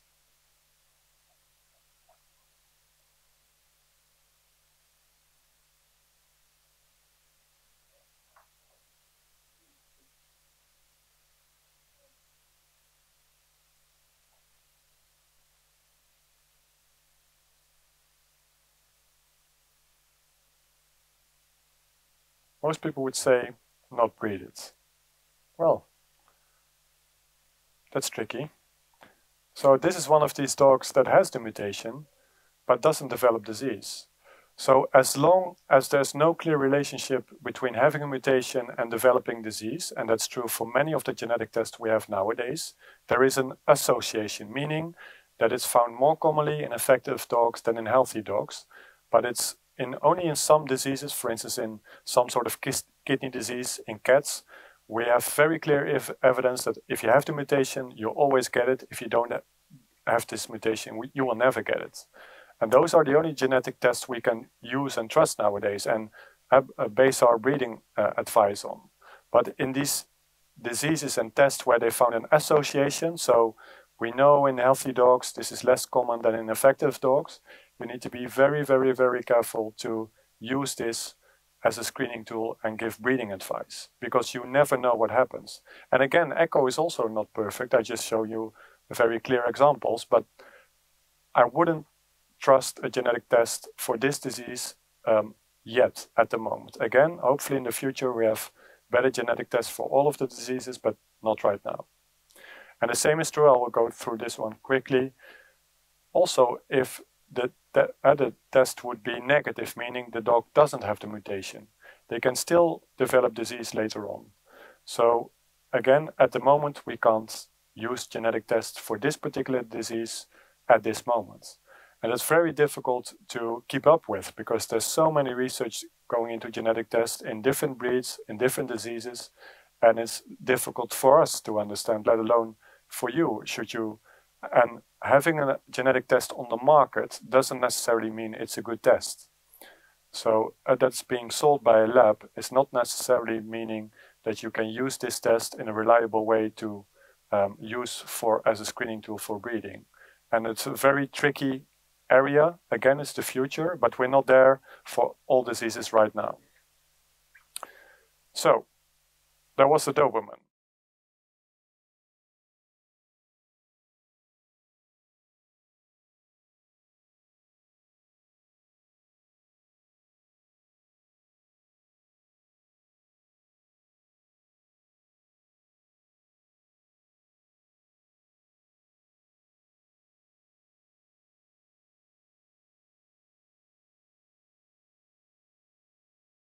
Now, one more dog breeds, the boxer dog. They're not so common here in Sweden as compared to the Netherlands. It's quite a popular dog breed in the Netherlands. I've seen a lot of them, I've screened a lot of them, uh, and it still makes me tired screening them all the time. They're jumping around. And, but they're quite nice. They're always very, uh, uh, very happy dogs. So this is a female dog, two years old, healthy, uh, intended for breeding. And now a soft heart murmur is detected. And it was detected by the, the vet, just uh, uh, the first opinion vet of this particular breeder, um, so not a cardiologist. And of course, having a heart murmur as an adult dog, it wasn't there before as a puppy, it developed later on in life, uh, usually means heart disease. So that's why the vet said, well, I'm actually not sure if it's a good idea to breed with this dog because I hear a heart murmur uh, and it's very likely to be heart disease. So I'm not sure it's a good idea to, to breed this one. What do you think? Is this heart disease or no heart disease or wouldn't you know? Oh, people are getting more tired and more careful, I think. Is heart disease common in the boxer dog? Please be brave and just choose between A and B. Yes? If so, which one? There's a few left we haven't discussed tonight, so it's taking longer and longer. People are not so brave anymore. now most people would go for aortic stenosis. Is it hereditary in this breed? Most people think it is. Do they die from it? Yeah, most people think they do. So, should we screen them? And if so, how? I'm just generating a lot of work for us tonight. but there's a point to this. I promise. Yeah, most people would say so. How should we do it? Yeah, most people would go for echocardiography. Then let's say we diagnose disease. Should we exclude them from breeding or use them? Uh, so either never or sometimes. I'll give you some background. So to start off with the murmurs. Again, usually a heart murmur in an adult dog means something is wrong with the heart. But boxes are in many ways slightly different. And one of the reasons that they're different is they have heart murmurs all the time, and usually with quite mild heart disease. So this is uh, the number of dogs or boxer dogs with healthy hearts uh, that have heart murmurs. So we're listening to the heart, and besides the normal heart sounds, we can hear a murmur. And this is from a, a screening program in Italy. Um, and in those dogs, they will find heart murmurs in all of them, in the adult ones, and also find heart murmurs in the dogs that have heart disease. So all boxers have heart murmurs, at least the ones in Italy. And that's very important to realize. So although having a heart murmur in general is an abnormal thing, um, then it might be true, like in the Cavalier, if all dogs have it, you have to take that into account for breeding. And like I told you, there's a point to this case as well. So far, we've seen dogs in which heart disease really influences quality and duration of life. So if you're a Doberman with dilated cardiomyopathy, you're going to die and die in a very bad way, and usually also after um, uh, being sick for only a very short period of time. So if you're a Doberman with DCM, you will, you will not live long. If you're a Cavalier with mitral valve disease, you will not live long. If you're a boxer with heart disease, many of them lead completely normal life. So they have heart disease, but they live on and on and on and on. So it's different diseases in different breeds, but also with different consequences for the health of their this breed.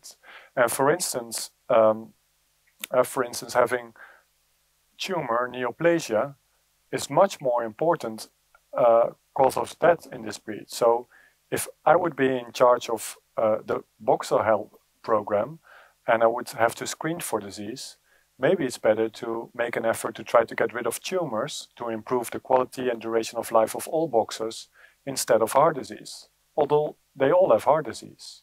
So that's very different from the diseases we saw so far.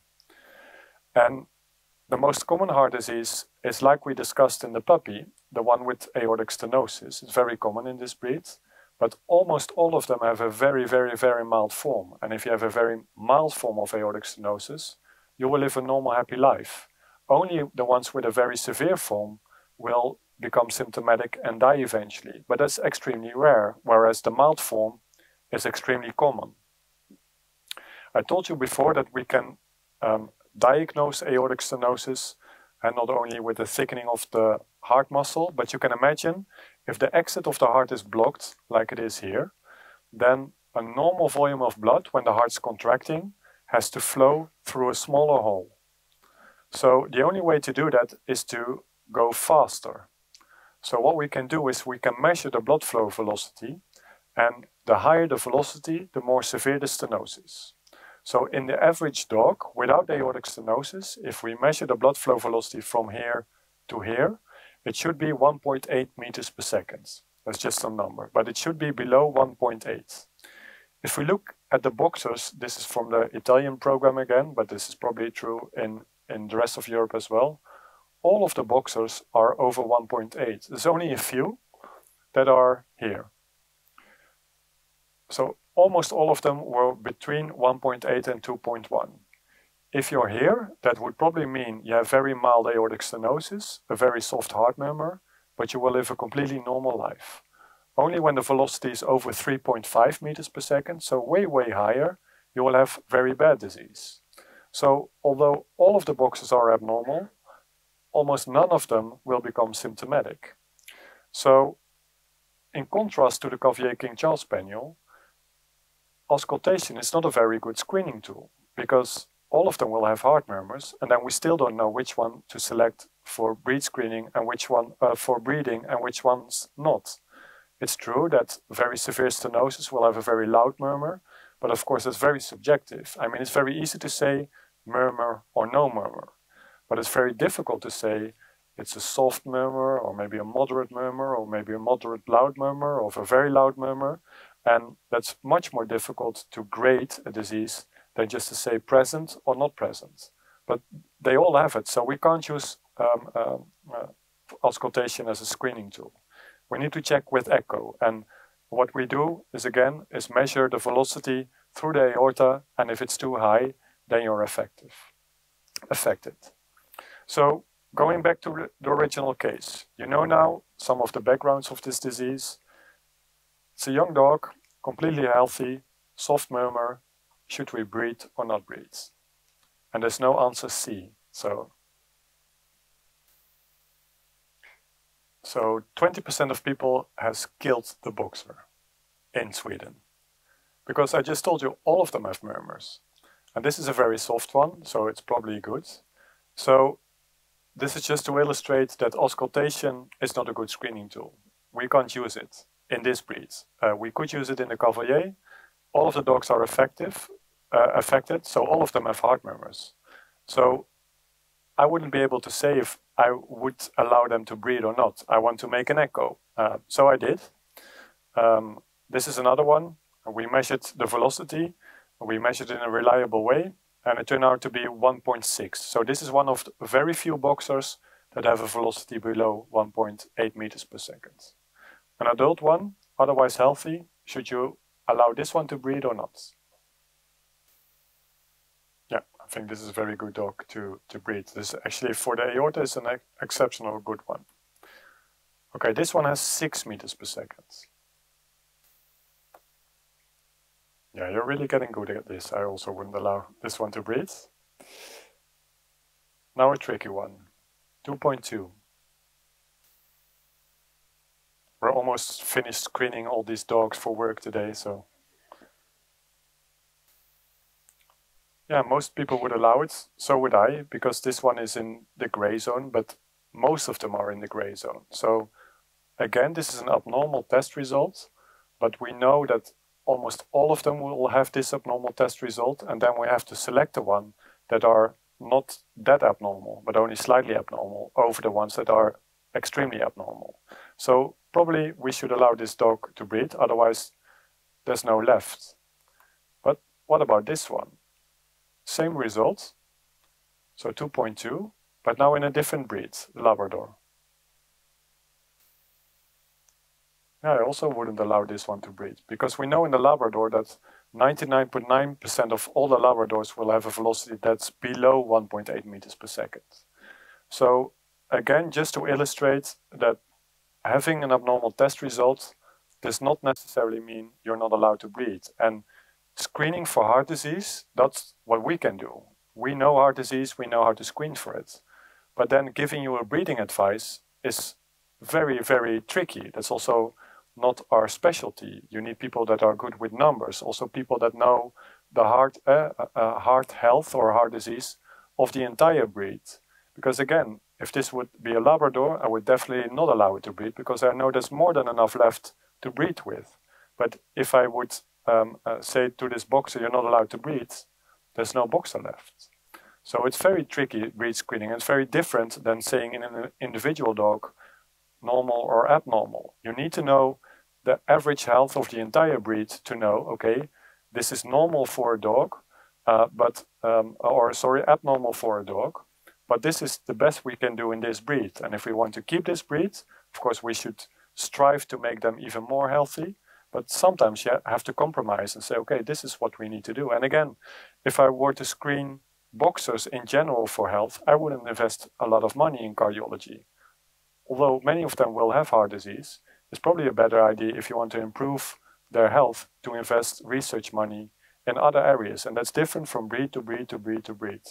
Dobermans, no question about it. Heart disease is very important for the breed health. Uh, mitral valve disease, uh, the same in the Cavalier. But you have to look at different diseases uh, in different breeds. One more remark, I won't ask you to vote on this one because this is quite tricky, but this is just to show you that sometimes it's very difficult for us to judge health, heart health, just on a report. What happens a lot, uh, for instance, dogs that are abroad, but are very promising uh, dogs that you can use for breeding, they are screened by someone else, and then you come to me with an echo report. And then it's a very nice report, it's well written, every number that I want to see is in there. Um, and then in this dog, the velocity in the aorta is also measured, and the highest velocity they would get is 1.88. So for a boxer, that's actually quite a good result. So that number would say, ah, this is one you should use for breeding. The problem with me seeing the reports over the heart is I have no way of knowing how these numbers were obtained. And that's very important to know because if you measure the velocity like this, you underestimate the velocity. So you need to measure the velocity in this blood vessel.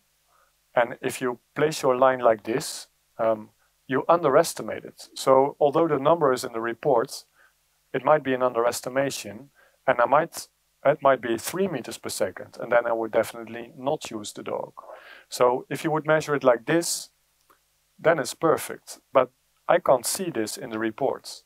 So it's very difficult to know, okay, who should screen or uh, how can we interpret the results? And it's very difficult for us in general to judge a dog's heart health just on a report that we didn't make. And some of my colleagues in Europe, I would know them and I would trust them uh, because I know them personally or I know their work. But of course, I don't know all the vets in Sweden or the Netherlands or whenever. So it's always tricky to know uh, who's allowed to breed and is he or she able to do it or not? So this is always the question, and it's a very difficult question to answer. And again, in the future, we probably have genetic tests for everything, but that future, unfortunately, will not be the near future. In the meantime, we have to make the most of what we can do right now. So just a few things to think about. It's not voting, it's just some remarks. Um, so first of all, should we screen? And I think in general, you should screen for diseases that affect the health of a breed. And you've shown, uh, I've shown you different examples. So don't screen for heart disease with boxers in general. Um, screen for heart disease in Dobermans because we know in Dobermans it will affect the health of the breed. And in Sweden, you're very lucky because you have a lot of data uh, from insurance companies that can help you with this. In the Netherlands, less than 5% of dogs have insurance, the insurance companies are not collecting data. So many dogs, we have no clue if heart disease is important, for instance. And here at least you have this data, which is really, really helpful. So uh, heart disease, important in the Cavalier King Charles Spaniel. Here it's the red dots. Look, different breeds, German Shepherds, don't look for heart disease. Some of them might have it, but in general, it's not important for the breed. Then the question is, okay, what's normal? And we know for any parameter, so be it length or shoe size or the length of your finger, um, uh, there is a gray area between normal and abnormal. And what we consider normal is true for 95% of us, but there's always 2.5% that's smaller and 2.5% that's bigger. We would call them abnormal, but they're still normal. And that's true for everything we measure in echocardiography. Fortunately, for some breeds, we actually know what's normal because we've seen a lot of them and we also follow them in time. So, for instance, the Doberman, I think, is one of the best documented breeds regarding the heart. So, we know exactly for every measurement this is normal in the Doberman, this is in the gray zone, and this is definitely abnormal. But in some of the rare breeds, we have no clue.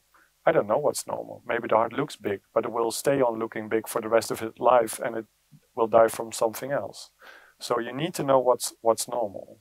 And also, uh, I've shown you some examples. Which test should you use to screen?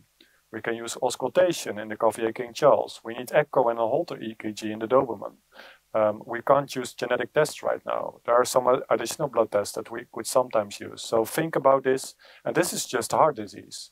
I mean, you can also look at joint disease, eye disease, skin disease. There's so many things to, to look at. Another very difficult, tricky um, question that I'm not going to answer for you, but who should screen? There's no way of you to know that I'm a good cardiologist, or Anna is a good cardiologist, or Einar is a good cardiologist. You just have to trust us. We don't have, like here on Uber, uh, this rating system. And even if we had, you probably think, well, he's a nice guy, so he's probably good at his work. But you don't know. Uh, and that's very tricky. And of course, we have, uh, where we have this system where you're a European diplomate or a Swedish specialist. So at least you get an idea someone has really put a lot of effort in cardiology and sees a lot of cardiology cases.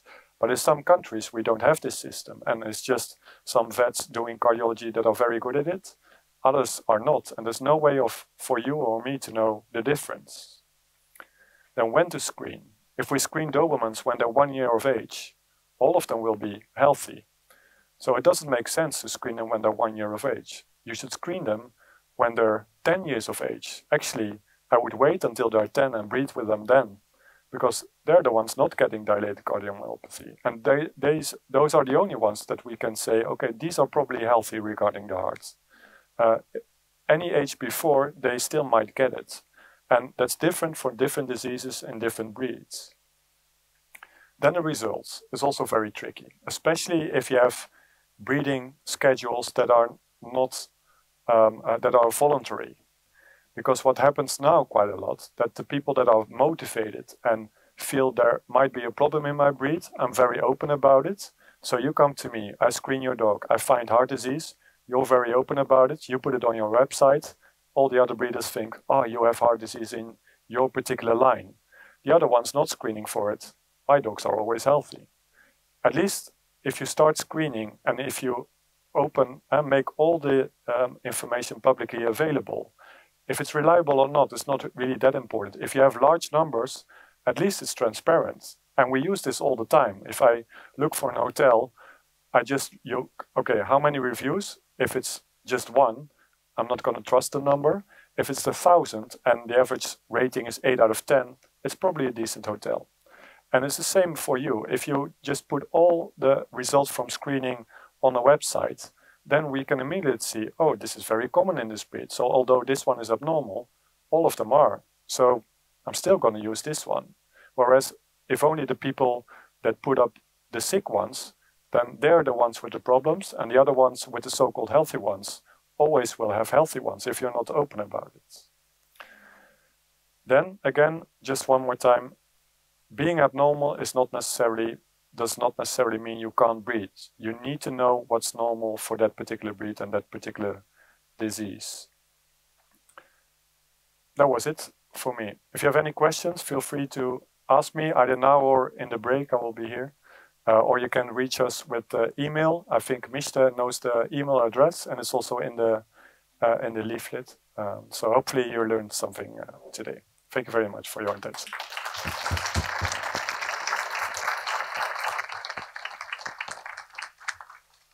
Då har vi någon fråga här i alla fall. Jag tar den gärna på svenska. Ja. Hörs det? Hörs det nu? Mm. Jag eh, har boxer, boxeruppfödare sedan Ja. många år tillbaka. Eh, jag, är den på? Jag har inte upplevt att alla har blåsljud Mm. konstant, men jag vet ju att det kommer och går och kommer och går. Ponera nu att jag har ett avelsdjur som jag vill använda som har eh, gått igenom auskultation med en hjärtspecialist vid flera tillfällen och det hörs ingenting. Nej. Bör jag skanna den hunden i alla fall, ultraljud och mäta flöde? Can you translate the last part? so I got most of it.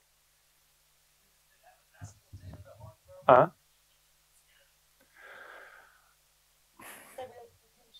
yeah. It's a tricky question. So, if you want to make sure, uh, because I think that's your responsibility as a breeder, as an individual breeder, and you want to make sure that your particular line is as healthy as you can get it to be, uh, then probably doing echo is the best way to go.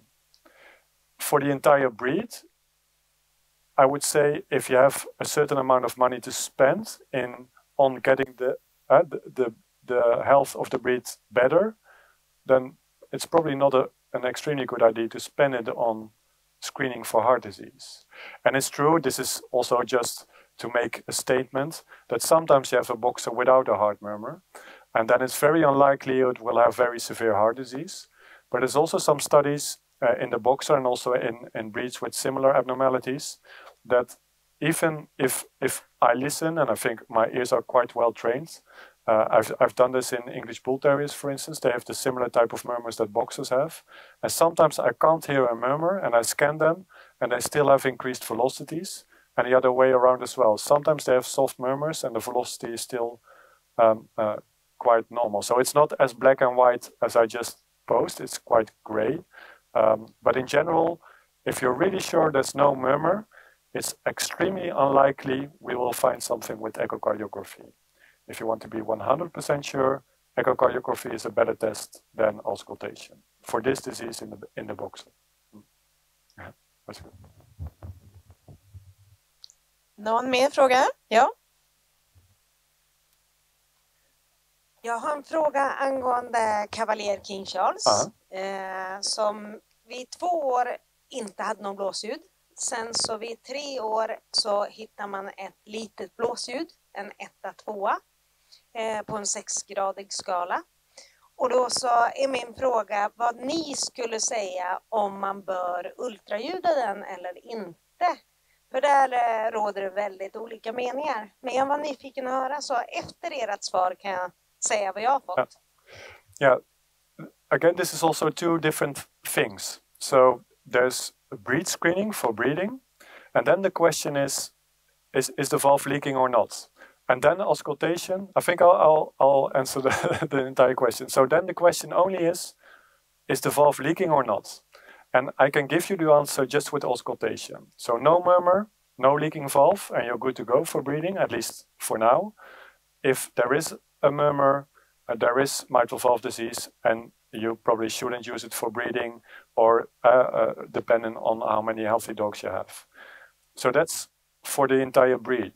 For an individual dog, it means that if we hear a heart murmur in a dog that we suspect of having mitral valve disease, then the question is okay, we already know this dog has disease, but how big is the heart? Because we know the bigger the heart, the shorter the dog will live.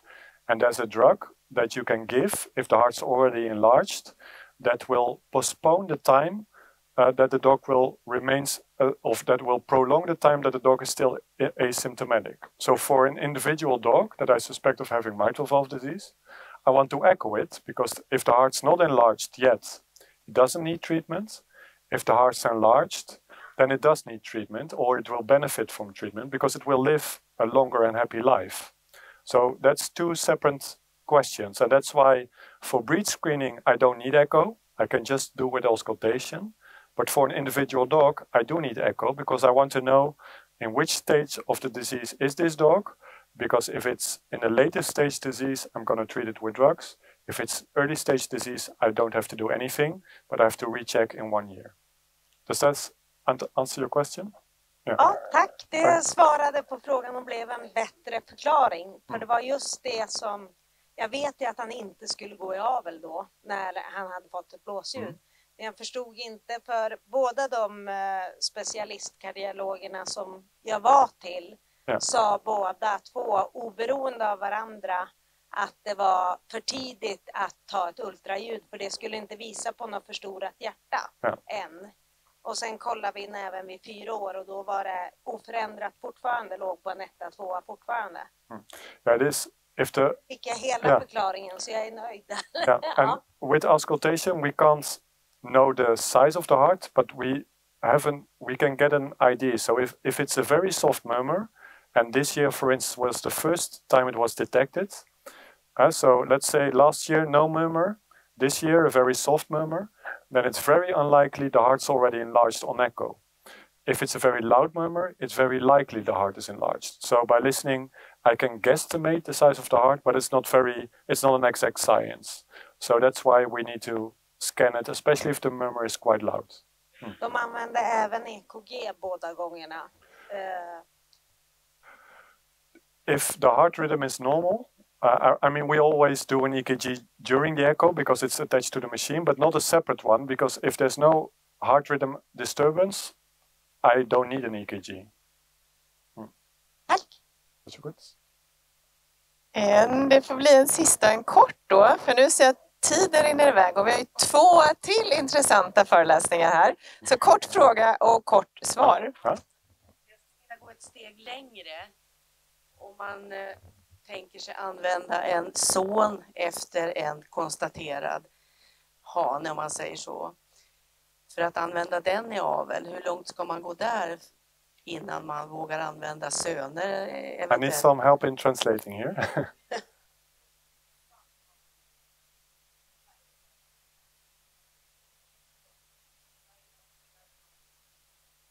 what heart disease? Father, dude, Huh?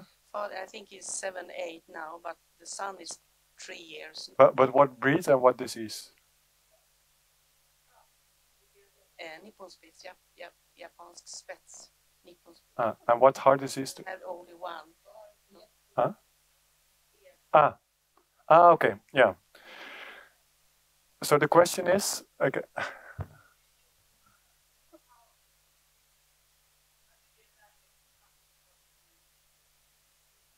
Ah, if the if the father is affected, yeah. And in this breed, I because it's such a small, I I don't know this breed very well. Uh, no, but I mean, um, so I don't know how often this heart disease is is present in the breed. Ah, um, because selecting for breeding, again, you need to know how common it is in all the other dogs. So let's say that all the other dogs in this breed are completely healthy, then I would eradicate the entire family from breeding. Um, but if if it's much more common, you don't have to be radical, and you can even use effective dogs. So for mitral valve disease in general, we're mostly looking at individual dogs and not at as at fathers. If I can choo- choose between two, so I have two dogs with heart murmur, uh, one there's no problem in the family, and the other one, yeah, then maybe I, I would try to guesstimate and, and choose the other one. But again, we need to know all the dogs and not just one. Hmm. Okay. Vad bra, och hoppas att ni orkar en liten stund till här för jag ska prata om en av hundens vanligaste medfödda hjärtsjukdomar som heter pulmonalis stenos. Och Mark har ju pratat en del om aortastenos och det här är en liknande sjukdom fast på ett annat ställe. Och jag har byggt upp den kring ett par frågor. Eh, först ska vi gå igenom vad det är, hur vi ställer diagnosen, vad det är för symptom. Sen ska vi fråga oss, är det alltid allvarligt att ha det? Vad kan vi göra åt det? Och är det ärftligt? Det är de punkterna jag tänker gå igenom och sen får ni efter föreläsningen slut här så kan ni komplettera med era egna frågor. Så vi börjar med vad är pulmonalisstenos? Och då får vi titta lite på fysiologin till att börja med. Och då börjar vi med det normala hjärtat. Nu har ju Mark gått igenom en hel del med er, men om man tittar lite översiktligt på det hela så kan man dela in hjärtat i en högersida vars huvudfunktion är att pumpa upp blodet upp till lungorna så det blir syresatt. Sen kommer det ner på vänstersidan vars huvudfunktion är då att pumpa ut blodet via aorta ut i kroppen. Sen kommer det syrefattiga blodet tillbaks till högersidan. Och vid sjukdomen pulmonalis stenos, då har du en förträngning, en stenos i det här området. Det vill säga när blodet ska skjutsas upp, upp i lungorna så eh, krävs det en betydligt större ansträngning för hjärtmuskeln för att det är trångt här. Och många gånger beror det på att eh, hjärtklaffarna som sitter här, de öppnar sig inte ordentligt så att du har en ganska liten diameter för blodet att transporteras igenom. Det är samma princip som på aortastenosen. Och vad som händer är att hjärtmuskeln blir kraftigt förtjockad som ni ser här. Och att vi även får en, en eh, dilatation av ett av hjärtrummen. Och vad kan hundarna få för symptom av det här? Eh, man har ett blåsljud till att börja med. Det är så man brukar börja eh, ana att det är någonting som inte stämmer. Och precis som på aortastenos så kan det vara allt från en lindrig till en grav. Så har man en lindrig variant så har man inga symptom alls. Och har man då mer måttligt grav så kan man ha inga symptom till att börja med från födseln. Och sen kan de debutera efter ett par månader eller ett par år. Och vad som händer är att de får en trötthet eller en andnöd som relateras till ansträngning. För i situationer där du måste ha mer blod upp till lungorna så förmår inte högersidan av hjärtat att pumpa upp tillräckligt med blod och syresätta. Och det här kan även leda till att de får svimningar som relateras då också till ansträngning. Plötslig död förekommer, eh, inte alls lika vanligt som på aortastenos men det, det finns enstaka fall. Och människor som har pulmonal stenos, eh, de rapporterar om bröstsmärtor. Det är svårare för oss att, att fråga våra djur om. Hur ställer vi diagnosen? Eh, lyssna med ett stetoskop är ju första eh, som vi gör och det är där man fattar misstanke om att det är någonting som inte står rätt till. Men sen behöver vi då gå vidare med ett hjärtultraljud. Här ser vi en normal hjärtmuskel som pumpar eh, blod. Och det här är en standardvy eh, på ett normalt hjärta på den här sidan och ett sjukt hjärta på den här sidan. Och man ser det från samma, eh, samma projektion så att vänstersidan här dominerar bilden. Det är vänsterkammaren som pumpar blodet. Men om vi går över till högersidan då som har, visar en pulmonalistenos så får man en kraftig förtjockning av hjärtmuskulaturen för den måste hela tiden kämpa mot det här höga trycket för att kunna orka pumpa ut blodet ut i eh, eh, ut upp i lungorna. Ska vi se om vi kan få någon fart på det här. Oj.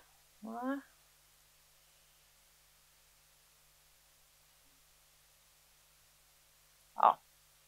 Vi kanske helt enkelt får hoppa över den bilden.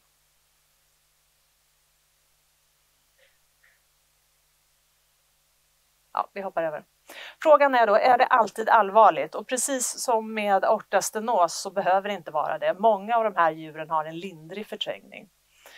Eh, men vi mäter då hastigheten i det här förträngda området och utifrån det, utifrån det så kan vi beräkna en så kallad tryckgradient. Och ju högre hastighet vi har på blodet i det förträngda området, ju allvarligare sjukdom har vi.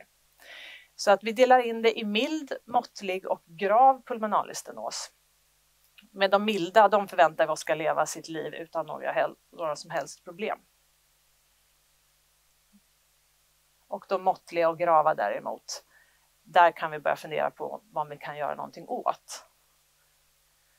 Behandlingen, eh, om du har en måttlig till grav stenos så kan man fundera på att sätta in medicinsk behandling och då är det en betablockerare. Och den kan man tänka sig teoretiskt skyddar hjärtmuskeln men det är absolut inget bot så att vissa väljer att sätta in det och andra gör det inte. Eh, men det är en väg som man kan gå. Men den som är eh, mest effektiv för de grava pulmonalestenoserna det är att göra en så kallad ballongdilatation eller en ballongsprängning av området. Och då förbättrar vi situationen genom att fysiskt eh, spränga upp det här stenotiska förträngda området. Så här ser vi en schematisk bild på hur det går till. Jag ska visa en, en film sen. Men, men eh, eh, man trär in en ballong i hjärt, hjärtat och lägger den i det förträngda området och sen så blåser man upp den och på så sätt kan man vidga området. Och för de patienter där vi bestämmer att vi vill gå vidare med ballongdilatation och en ballongsprängning så är det full narkos som gäller. Eh, hundarna ska eh, ligga på sidan på ett motsvarande operationsbord. Men med all utrustning så går vi in via ljumsken så vi behöver inte skära upp några bröstkorgar eller någonting, vilket är väldigt trevligt, utan det är en ven i ljumsken och utifrån den då så kommer vi in med all utrustning som vi behöver för att komma in i hjärtat och sen utföra våra ingrepp. Eh, och det första steget när man gör en så kallad ballongdilatation, det är att man ska göra en kärlkontraststudie. Och vad vi ser här är, jag kommer snart starta den här filmen, eh, det är ungefär som en, tänk på det här som en röntgenbild ungefär, där man ser en hund som ligger på sidan och då är det här hjärtsiluetten. Det här är eh, ryggkotpelaren. Och här kommer vi med den här eh, vajern som går in i hjärtat från ljumsken. Så ligger vi i högersidan av hjärtat och här kommer vi då eh, spruta ut kontrastvätska för att se hur blodet transporteras från högersidan av hjärtat upp i lungorna och sen tillbaks till vänstersidan. Och varför vi gör det här med att spruta in kontrastmedel i hjärtat, det är för att vi vill mäta exakt på tiondels millimetern hur snävt det här området är. Och baserat på det måttet så väljer vi sedan en rätt storlek på ballongen. Och det är otroligt kritiskt i själva ballongsprängningen att vi har en ballong som är av rätt storlek. Ska vi se om vi kan få fart på den här.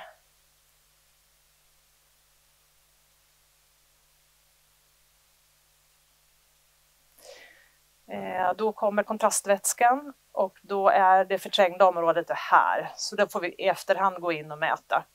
Sen går kontrastvätskan över till lungorna, sen kommer vi på vänstersidan och så går det ut i kroppen via aorta. Ja, det kanske inte är jättelätt att förstå, men ni, ni får ungefär en känsla för vad det är vi gör. Eh, och baserat på eh, den här då mätningen av det förträngda området så väljer vi ballonger. Och så här ser de ut när de är uppblåsta. Eh, om ni kan titta på, det finns en prick här och en prick där. Som ni, tänk på dem sen när ni tittar på nästa bild för då kommer ni se själva ballongsprängningen. För när man för in ballongen via ljumsken då, då är den inte uppblåst utan det gör vi sen när den ligger på plats. Eh, så om ni tittar på de här prickarna och sen så går vi vidare till nästa så ser ni motsvarande prickar här. Så nu ligger ballongen positionerad över förträngningen. Det här snäva området då eh, som vi vill försöka spränga upp det är ungefär här. Eh, och nu så ska vi se en liten filmsnutt här när vi blåser upp ballongen, vad som händer.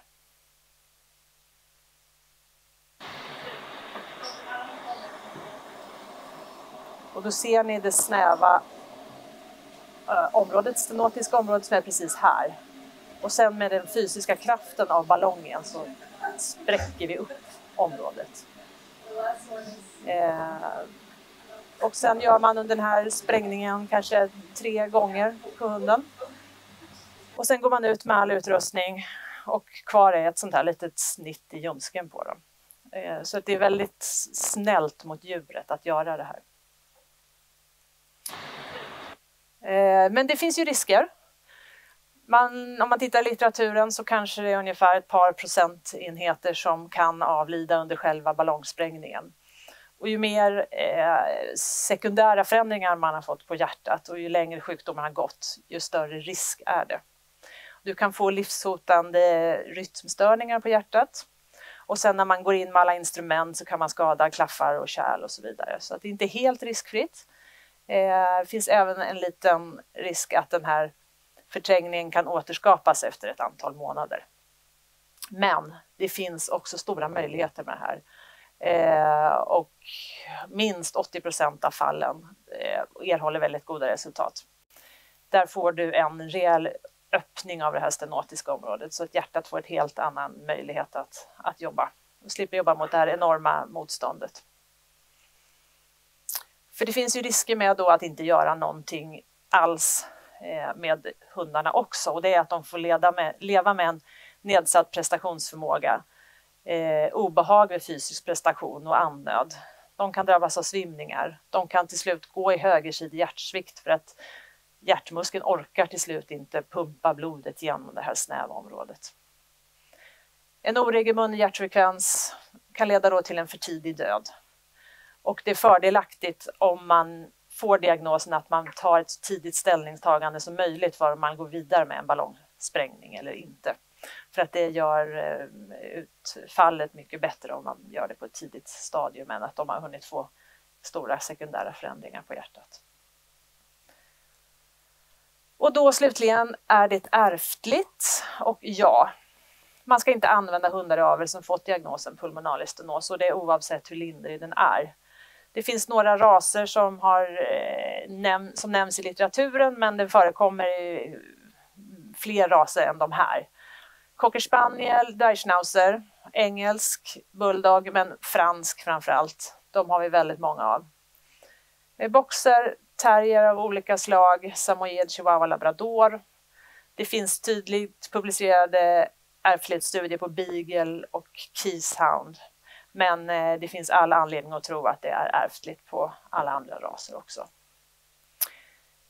Jag kan bara Eh, till slut ge ett exempel på två olika fall som vi har haft. Det här är en blandrashund som kom in till oss om 13 månader som var helt symptomfri, men där vi diagnostiserade den här grava förträngningen. Och då så tog eh, djurägarna eh, tidigt ställning till att de ville göra en ballongsprängning.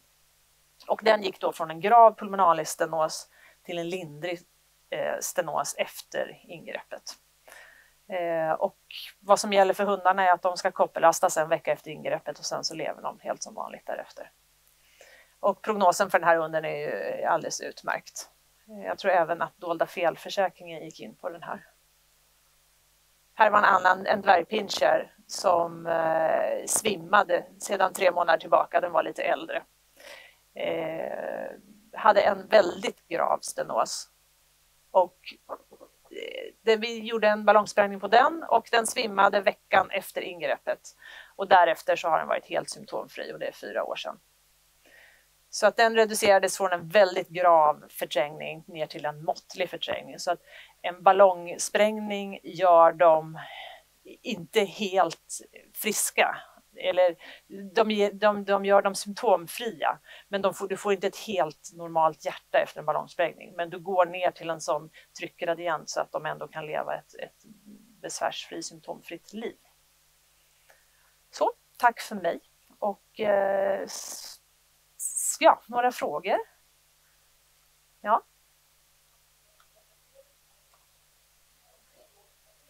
Ja.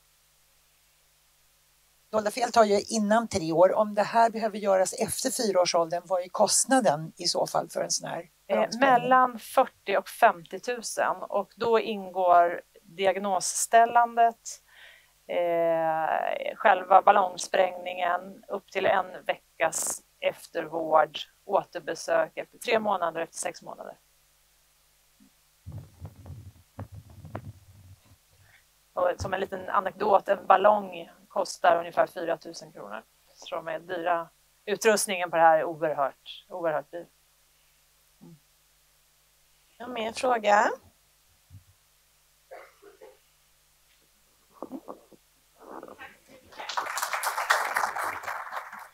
Så, kan alla höra mig bra? Härligt.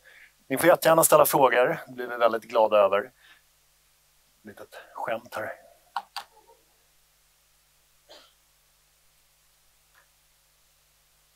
Eh, Einar Joar heter jag som sagt, trevligt att vara här. Och eh, här är vår e-mailadress, ni har den i era broschyrer också. Den här lite större broschyren i alla fall. Ni får gärna mejla oss om ni har några frågor och sådär. Det kan ta ett litet tag innan vi svarar. Och är det brådskande så är det alltid bättre att ringa, men vi svarar. Jag ehm, ska prata lite om eh, andra hjärtsjukdomar som vi kan behandla och i vissa fall bota kirurgiskt eller interventionellt som vi säger när vi går in via, med hjälp av röntgen och vi går in utan att göra stora operationer. Anna pratade om pulmonalistenoserna och jag ska prata om PDA och lite grann om sjukdomar där vi kan sätta pacemakers också. Men det är framförallt PDA egentligen som är det stora. Och IR, eller interventionell radiologi, kallas hela den här biten. Och det, det menas med en speciell form av röntgen egentligen, eller radiologi, där man utför medicinska ingrepp med hjälp av samtidig röntgen eller ultraljudsundersökning. Och det vi använder oss av är egentligen en sån här fluoroskopimaskin som är en slags kontinuerlig röntgenapparat. Djuret ligger under den här givaren och vi ser röntgenbilder på skärmen här och vi kan liksom lysa hela tiden. Så det är som att ta en röntgenbild under hela tiden så man får en film kontinuerligt. Det här är lite grejer man kan använda fluoroskopiutrustning till. Här är såna här ballongsprängningar och pulmonalystenoser. Här uppe opererar man en PDA. Man använder den också inom ortopedisk kirurgi till viss del, eh, pacemakers. Sen finns det lite andra grejer också vi använder dem till. Men PDA eller patent ductus arteriosus är väl det stora som vi använder fluoroskopi och sån interventionell radiologi till och det är det vi mest gör. Och en PDA innebär egentligen att det är kvarstående kärl mellan kroppspulsådern aorta och lungartären, arteria pulmonalis här. Det är den här delen här som är en PDA. Och en PDA, eller en DA, en ductus arteriosus, den finns normalt hos både människor och djur i fosterstadiet. Och det, den finns därför att i fosterstadiet i livmodern så behövs det inga blod genom lungorna i princip, utan syret kommer från eh, livmodern via blodet som kommer därifrån och eh, blodet pumpas liksom förbi lungorna genom den här ductus arteriosus som finns då, den här. Så att istället för att pumpas upp genom lungorna och syresättas så pumpas blodet ut i kroppspulsådern och ut i kroppen. Så lungorna används inte i fosterstadiet utan börjar användas när valpen eller kattungen eller människan föds. Så inom några dagar upp till en vecka så är det här äh, kärlet slutet då, på grund av att man börjar andas syre. Sen hos en del så händer inte det här och det är då man har en patent eller persisterande ductus arteriosus eller en PDA. Ehm, det är bland det topp tre vanligaste hjärtfelet, medfödda hjärtfelet på hundar. Och det förekommer på katter också, men det är inte alls lika vanligt. Och om vi inte gör någonting, då är det uppåt 70% som dör inom det första levnadsåret. Sen ibland så hittar vi hundar med det här som är 7, 8, 9 år till och med. Ehm, och då är det oftast ett bifynd att det här kärlet är så himla litet så att det inte ställer till något problem. Um, de vanligaste drabbade raserna ser ni här. Det, det, här diffar väl lite grann beroende på vilket land man är i, men här i Sverige så, så anges de här vara de vanligaste. Det är vanligare hos tikar. Eh, oavsett rasen så är det tre gånger så många tikar som drabbas. Ehm, man tror att det är en autosomalt dominant ärftlighet och där kan ni egentligen bättre än jag säkert men eh, autosomalt betyder att det ärvs ner på icke-könskromosomerna och dominant betyder att det slår igenom även om bara en av föräldrarna är bärare av anlaget. Ehm, sen kan ju båda föräldrarna vara helt kliniskt friska men någon av dem är sannolikt bärare av anlaget i alla fall. Ehm, man brukar upptäcka det tidigt, det brukar höras ett väldigt kraftigt blåsljud vid valpbesiktningen. Man kallar det för machinery murmur därför att det, det, brukar beskrivas som att det låter som att stå nere i maskinrummet på en båt nästan. Det, det är ett blåsljud hela tiden när man lyssnar på hjärtat. Ibland är den drabbade valpen mindre till växten än kullsyskonen men inte alltid. Många gånger är de helt normala. Eh, sen kan man som sagt missa några vid valpbesiktningen. Ibland kan det möjligen vara för att man har lyssnat slarvigt eller för att det är livat i undersökningsrummet för att det är tio andra valpar där inne. Men de vi tror oftast i alla fall missas vid eh, valpbesiktningen, de, de, är väl ofta av en lindrigare grad och har därför ett lindrigare blåsljud. Eh, och sen, det här är oviktigt, men hos människor så delar man upp det i olika kategorier. Och på djuren, eller på hundarna, så delar vi upp det i några olika former. Och det här är inte så viktigt, men det har lite med att göra hur lätt det är att åtgärda dem sen. Den första formen behöver man inte åtgärda medan de här två i mitten är de vanligaste formerna. Det är det här som är själva PDA, de är lite trattformade här. Medan sen finns det en typ 3 som är vanligast hos schäfrar och det är egentligen bara som ett tjockt rör och de är svåra att åtgärda på det här lite nyare sättet så de brukar vi fortfarande få operera. Vi hittar dem, efter att man har hört ett blåsljud så gör vi ett hjärtultraljud och då ser man dem ganska så tydligt. Går det för fort eller är det lagom? Ja, bra. Ehm, och behandlingen då, som är det intressanta egentligen. Fram tills ganska nyligen, i alla fall i Sverige, så har man behandlat dem genom kirurgi. Man öppnar bröstkorgen, försiktigt så dissekerar man sig fram till det här felaktiga kärlet. Man frilägger hela hjärtat nästan och eh, knyter av det felaktiga kärlet egentligen, PDA. Man lägger två stycken ligaturer och så drar man åt dem väldigt, väldigt försiktigt för att det inte ska brista och bli jätteblödningar. Och eh, operationen tar väl någon timme eller sådär. Och eh, det finns flera fördelar med den här gamla metoden också. Att om det är en erfaren kirurg som har gjort hundratals så är det ett rätt så säkert ingrepp. Det går ganska snabbt, någon timme eller två. Och det är ganska få komplikationer ändå. Det är mellan 10-15 procent beroende på hur erfaren kirurgen är och vart det görs och sådär. Men det är ett stort ingrepp. Man går in i bröstkorgen, eh, bänder isär revbenen för att komma åt. Det är 10-15 procents komplikationsrisk och av de här komplikationsprocenten då, 10-15 procent, då är det väldigt många som är dödliga därför att det största komplikationen som händer är att det blir en jätteblödning från det här kärlet och då, då är det nästan kört. För att det är så stor blodvolym som cirkulerar genom det här så att de flesta blöder ihjäl på några sekunder. Och det är ett stort ingrepp och det är mycket trauma eh, och hunden är kvar åtminstone ett par, tre dagar efter operationen för smärtlindring. Måste ta det väldigt lugnt i en tre, fyra veckor efter operationen. Eh, men om vi gör det med IR eller interventionell radiologi, då gör man precis som vid pulmonalistenoserna från början att vi tvättar och rakar rent i ljumsken. Sen dissekerar vi fram en artär i ljumsken eller lårartären. Så här går vi in i artären istället för med pulmonalistenoserna när vi går in i venen. Så man gör ett snitt på kanske 5 cm, dissekerar fram kärlet och sen har vi en anordning som heter ACDO, eller det är en slags eh, paraplyformad eh, plugg kan man säga så har vi en, en slags kateter man går in i som ser ut så här när den är ihoprullad.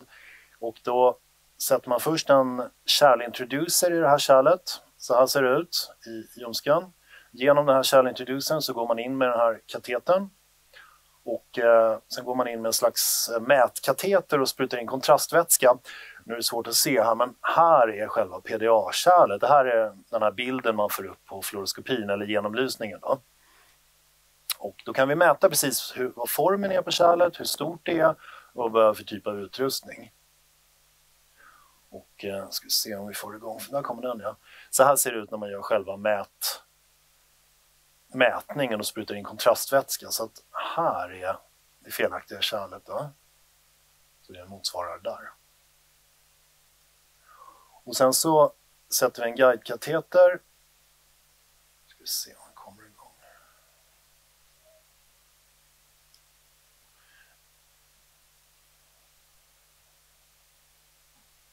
Mm. Får inte riktigt igång det, men genom den här guidekatetern, nu ligger den guidekatetern i själva dukten eller i det felaktiga kärlet och då går man in med det här paraplyformade föremålet då, eller ACDO och helt enkelt pluggar igen den.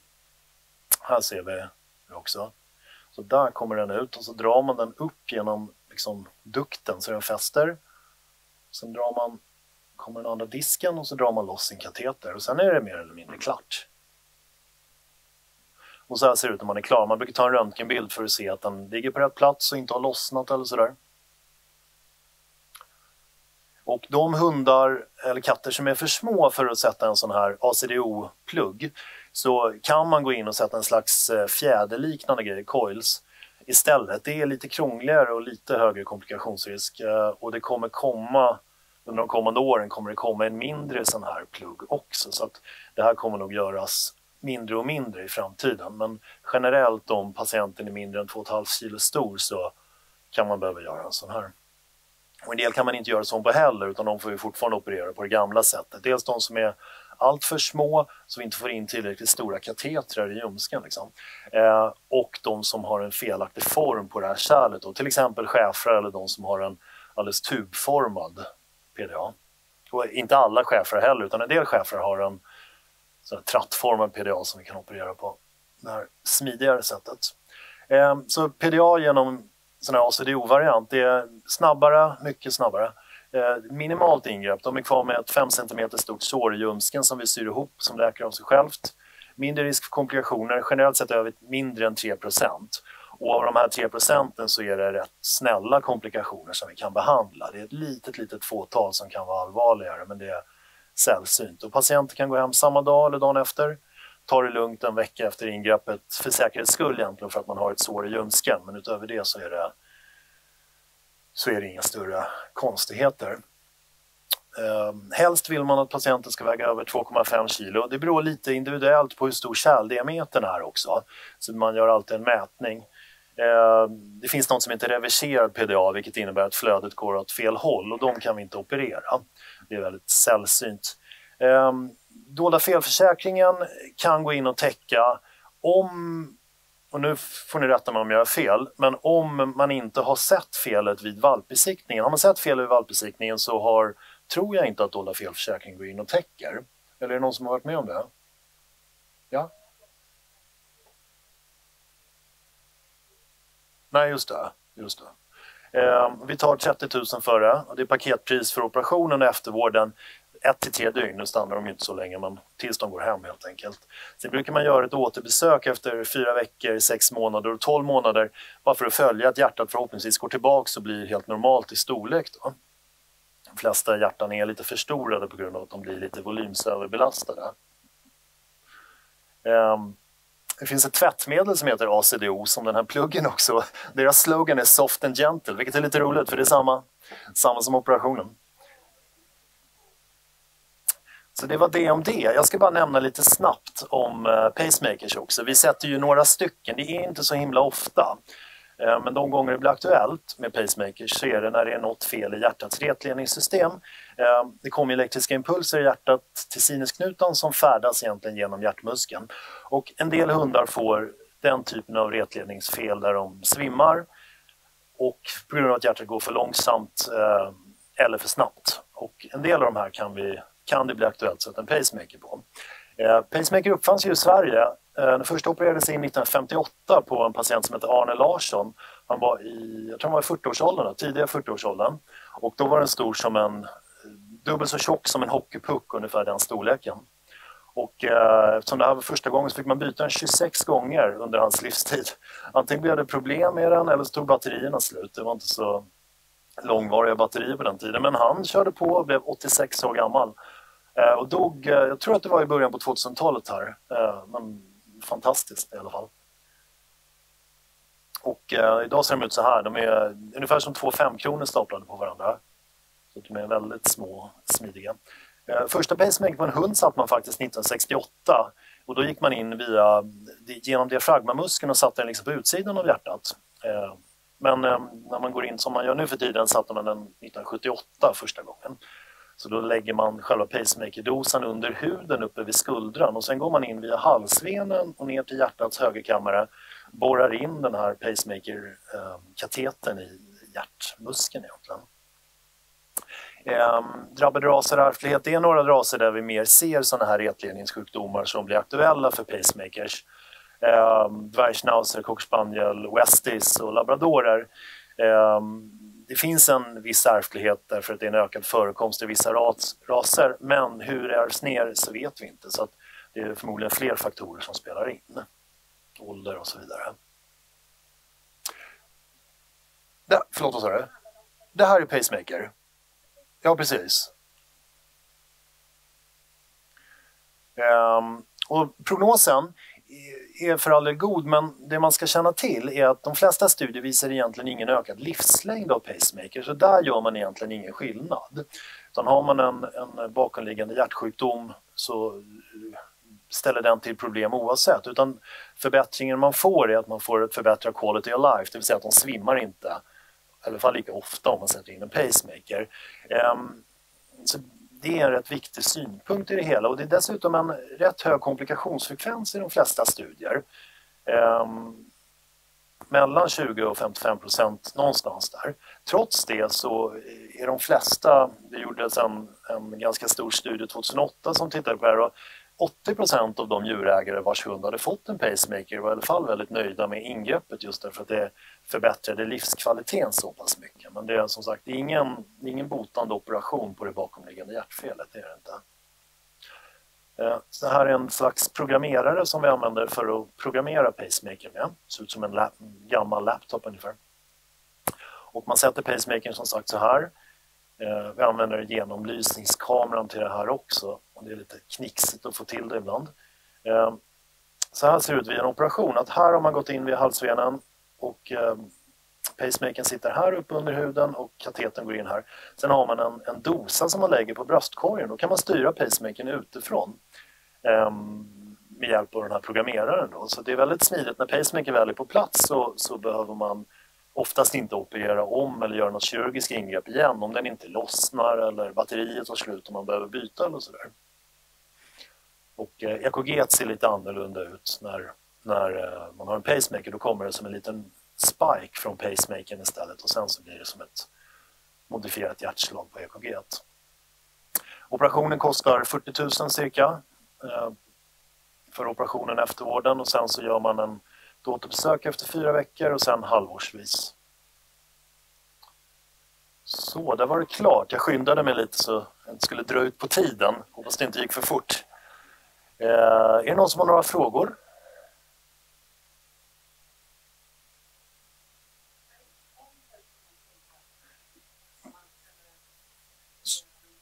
Pacemaker på, ja det är lite beroende på ras. Om det är en labrador så kan de vara ganska så unga faktiskt. Medan är det en eh, dvärgschnauzer eller en wester så är de oftast medelålders eller äldre. Så det är lite beroende på den underliggande hjärtsjukdomen. Men i alla fall har vi, tycker jag, i Sverige haft en rätt bra syn på liksom hur, hur ofta och på vilka patienter man ska sätta pacemaker så att det kanske inte nödvändigtvis behöver bli ett rutiningrepp som man gör kors och tvärs och väldigt ofta utan det ska vara liksom en patient som har en bra möjlighet att leva ett gott liv efter. Så det får inte vara som man kanske gör till exempel i USA, att det är en multisjuk hund som har tumörsjukdomar eller problem med annat och så sätter man en pacemaker för att förbättra livskvaliteten i en månad medan den i alla fall blir sämre av någonting annat. Så det är alltid en avvägning av andra, hur den mår i övrigt också.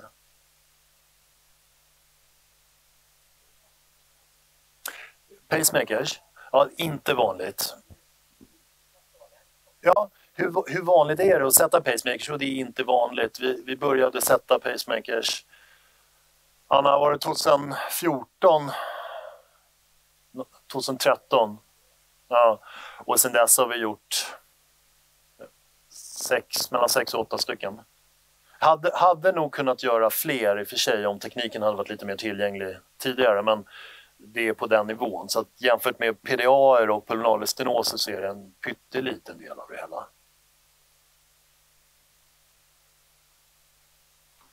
Ja?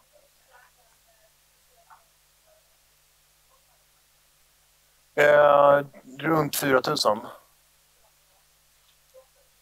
Ja precis, vad besöken kostar när vi har pacemaker-kontrollen, runt 4 000.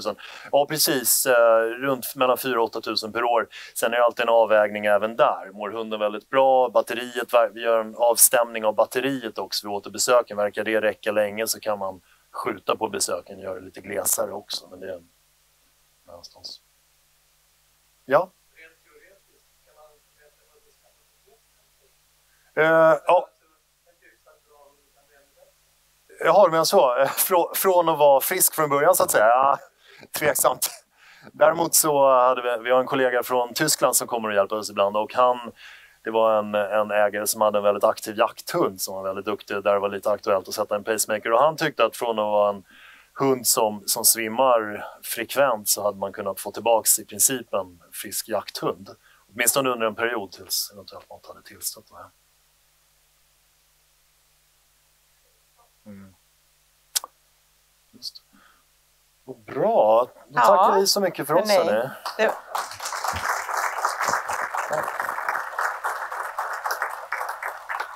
Det var ju väldigt skickligt inkörd tid av er båda. Vi tackar för det. Vi vet att en del har rest ganska långt för att få komma hit. Eh, och vi är ju jättetacksamma att ni har kommit hit och skulle vilja ge en liten present som kanske kan vara ert väntrum eller sådär. Som handlar om lite hundavel, hunduppfödning och svenska hundraser.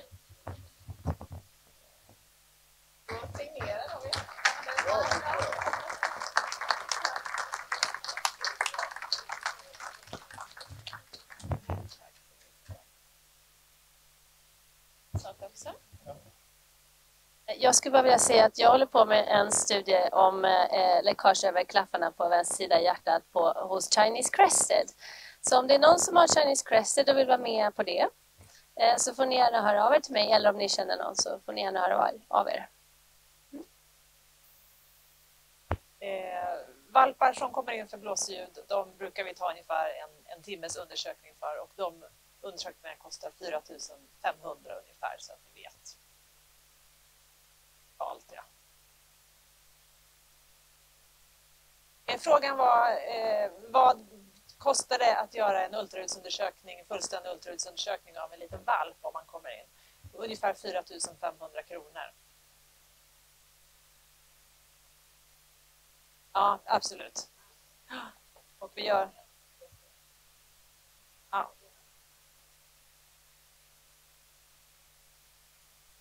Tack så mycket.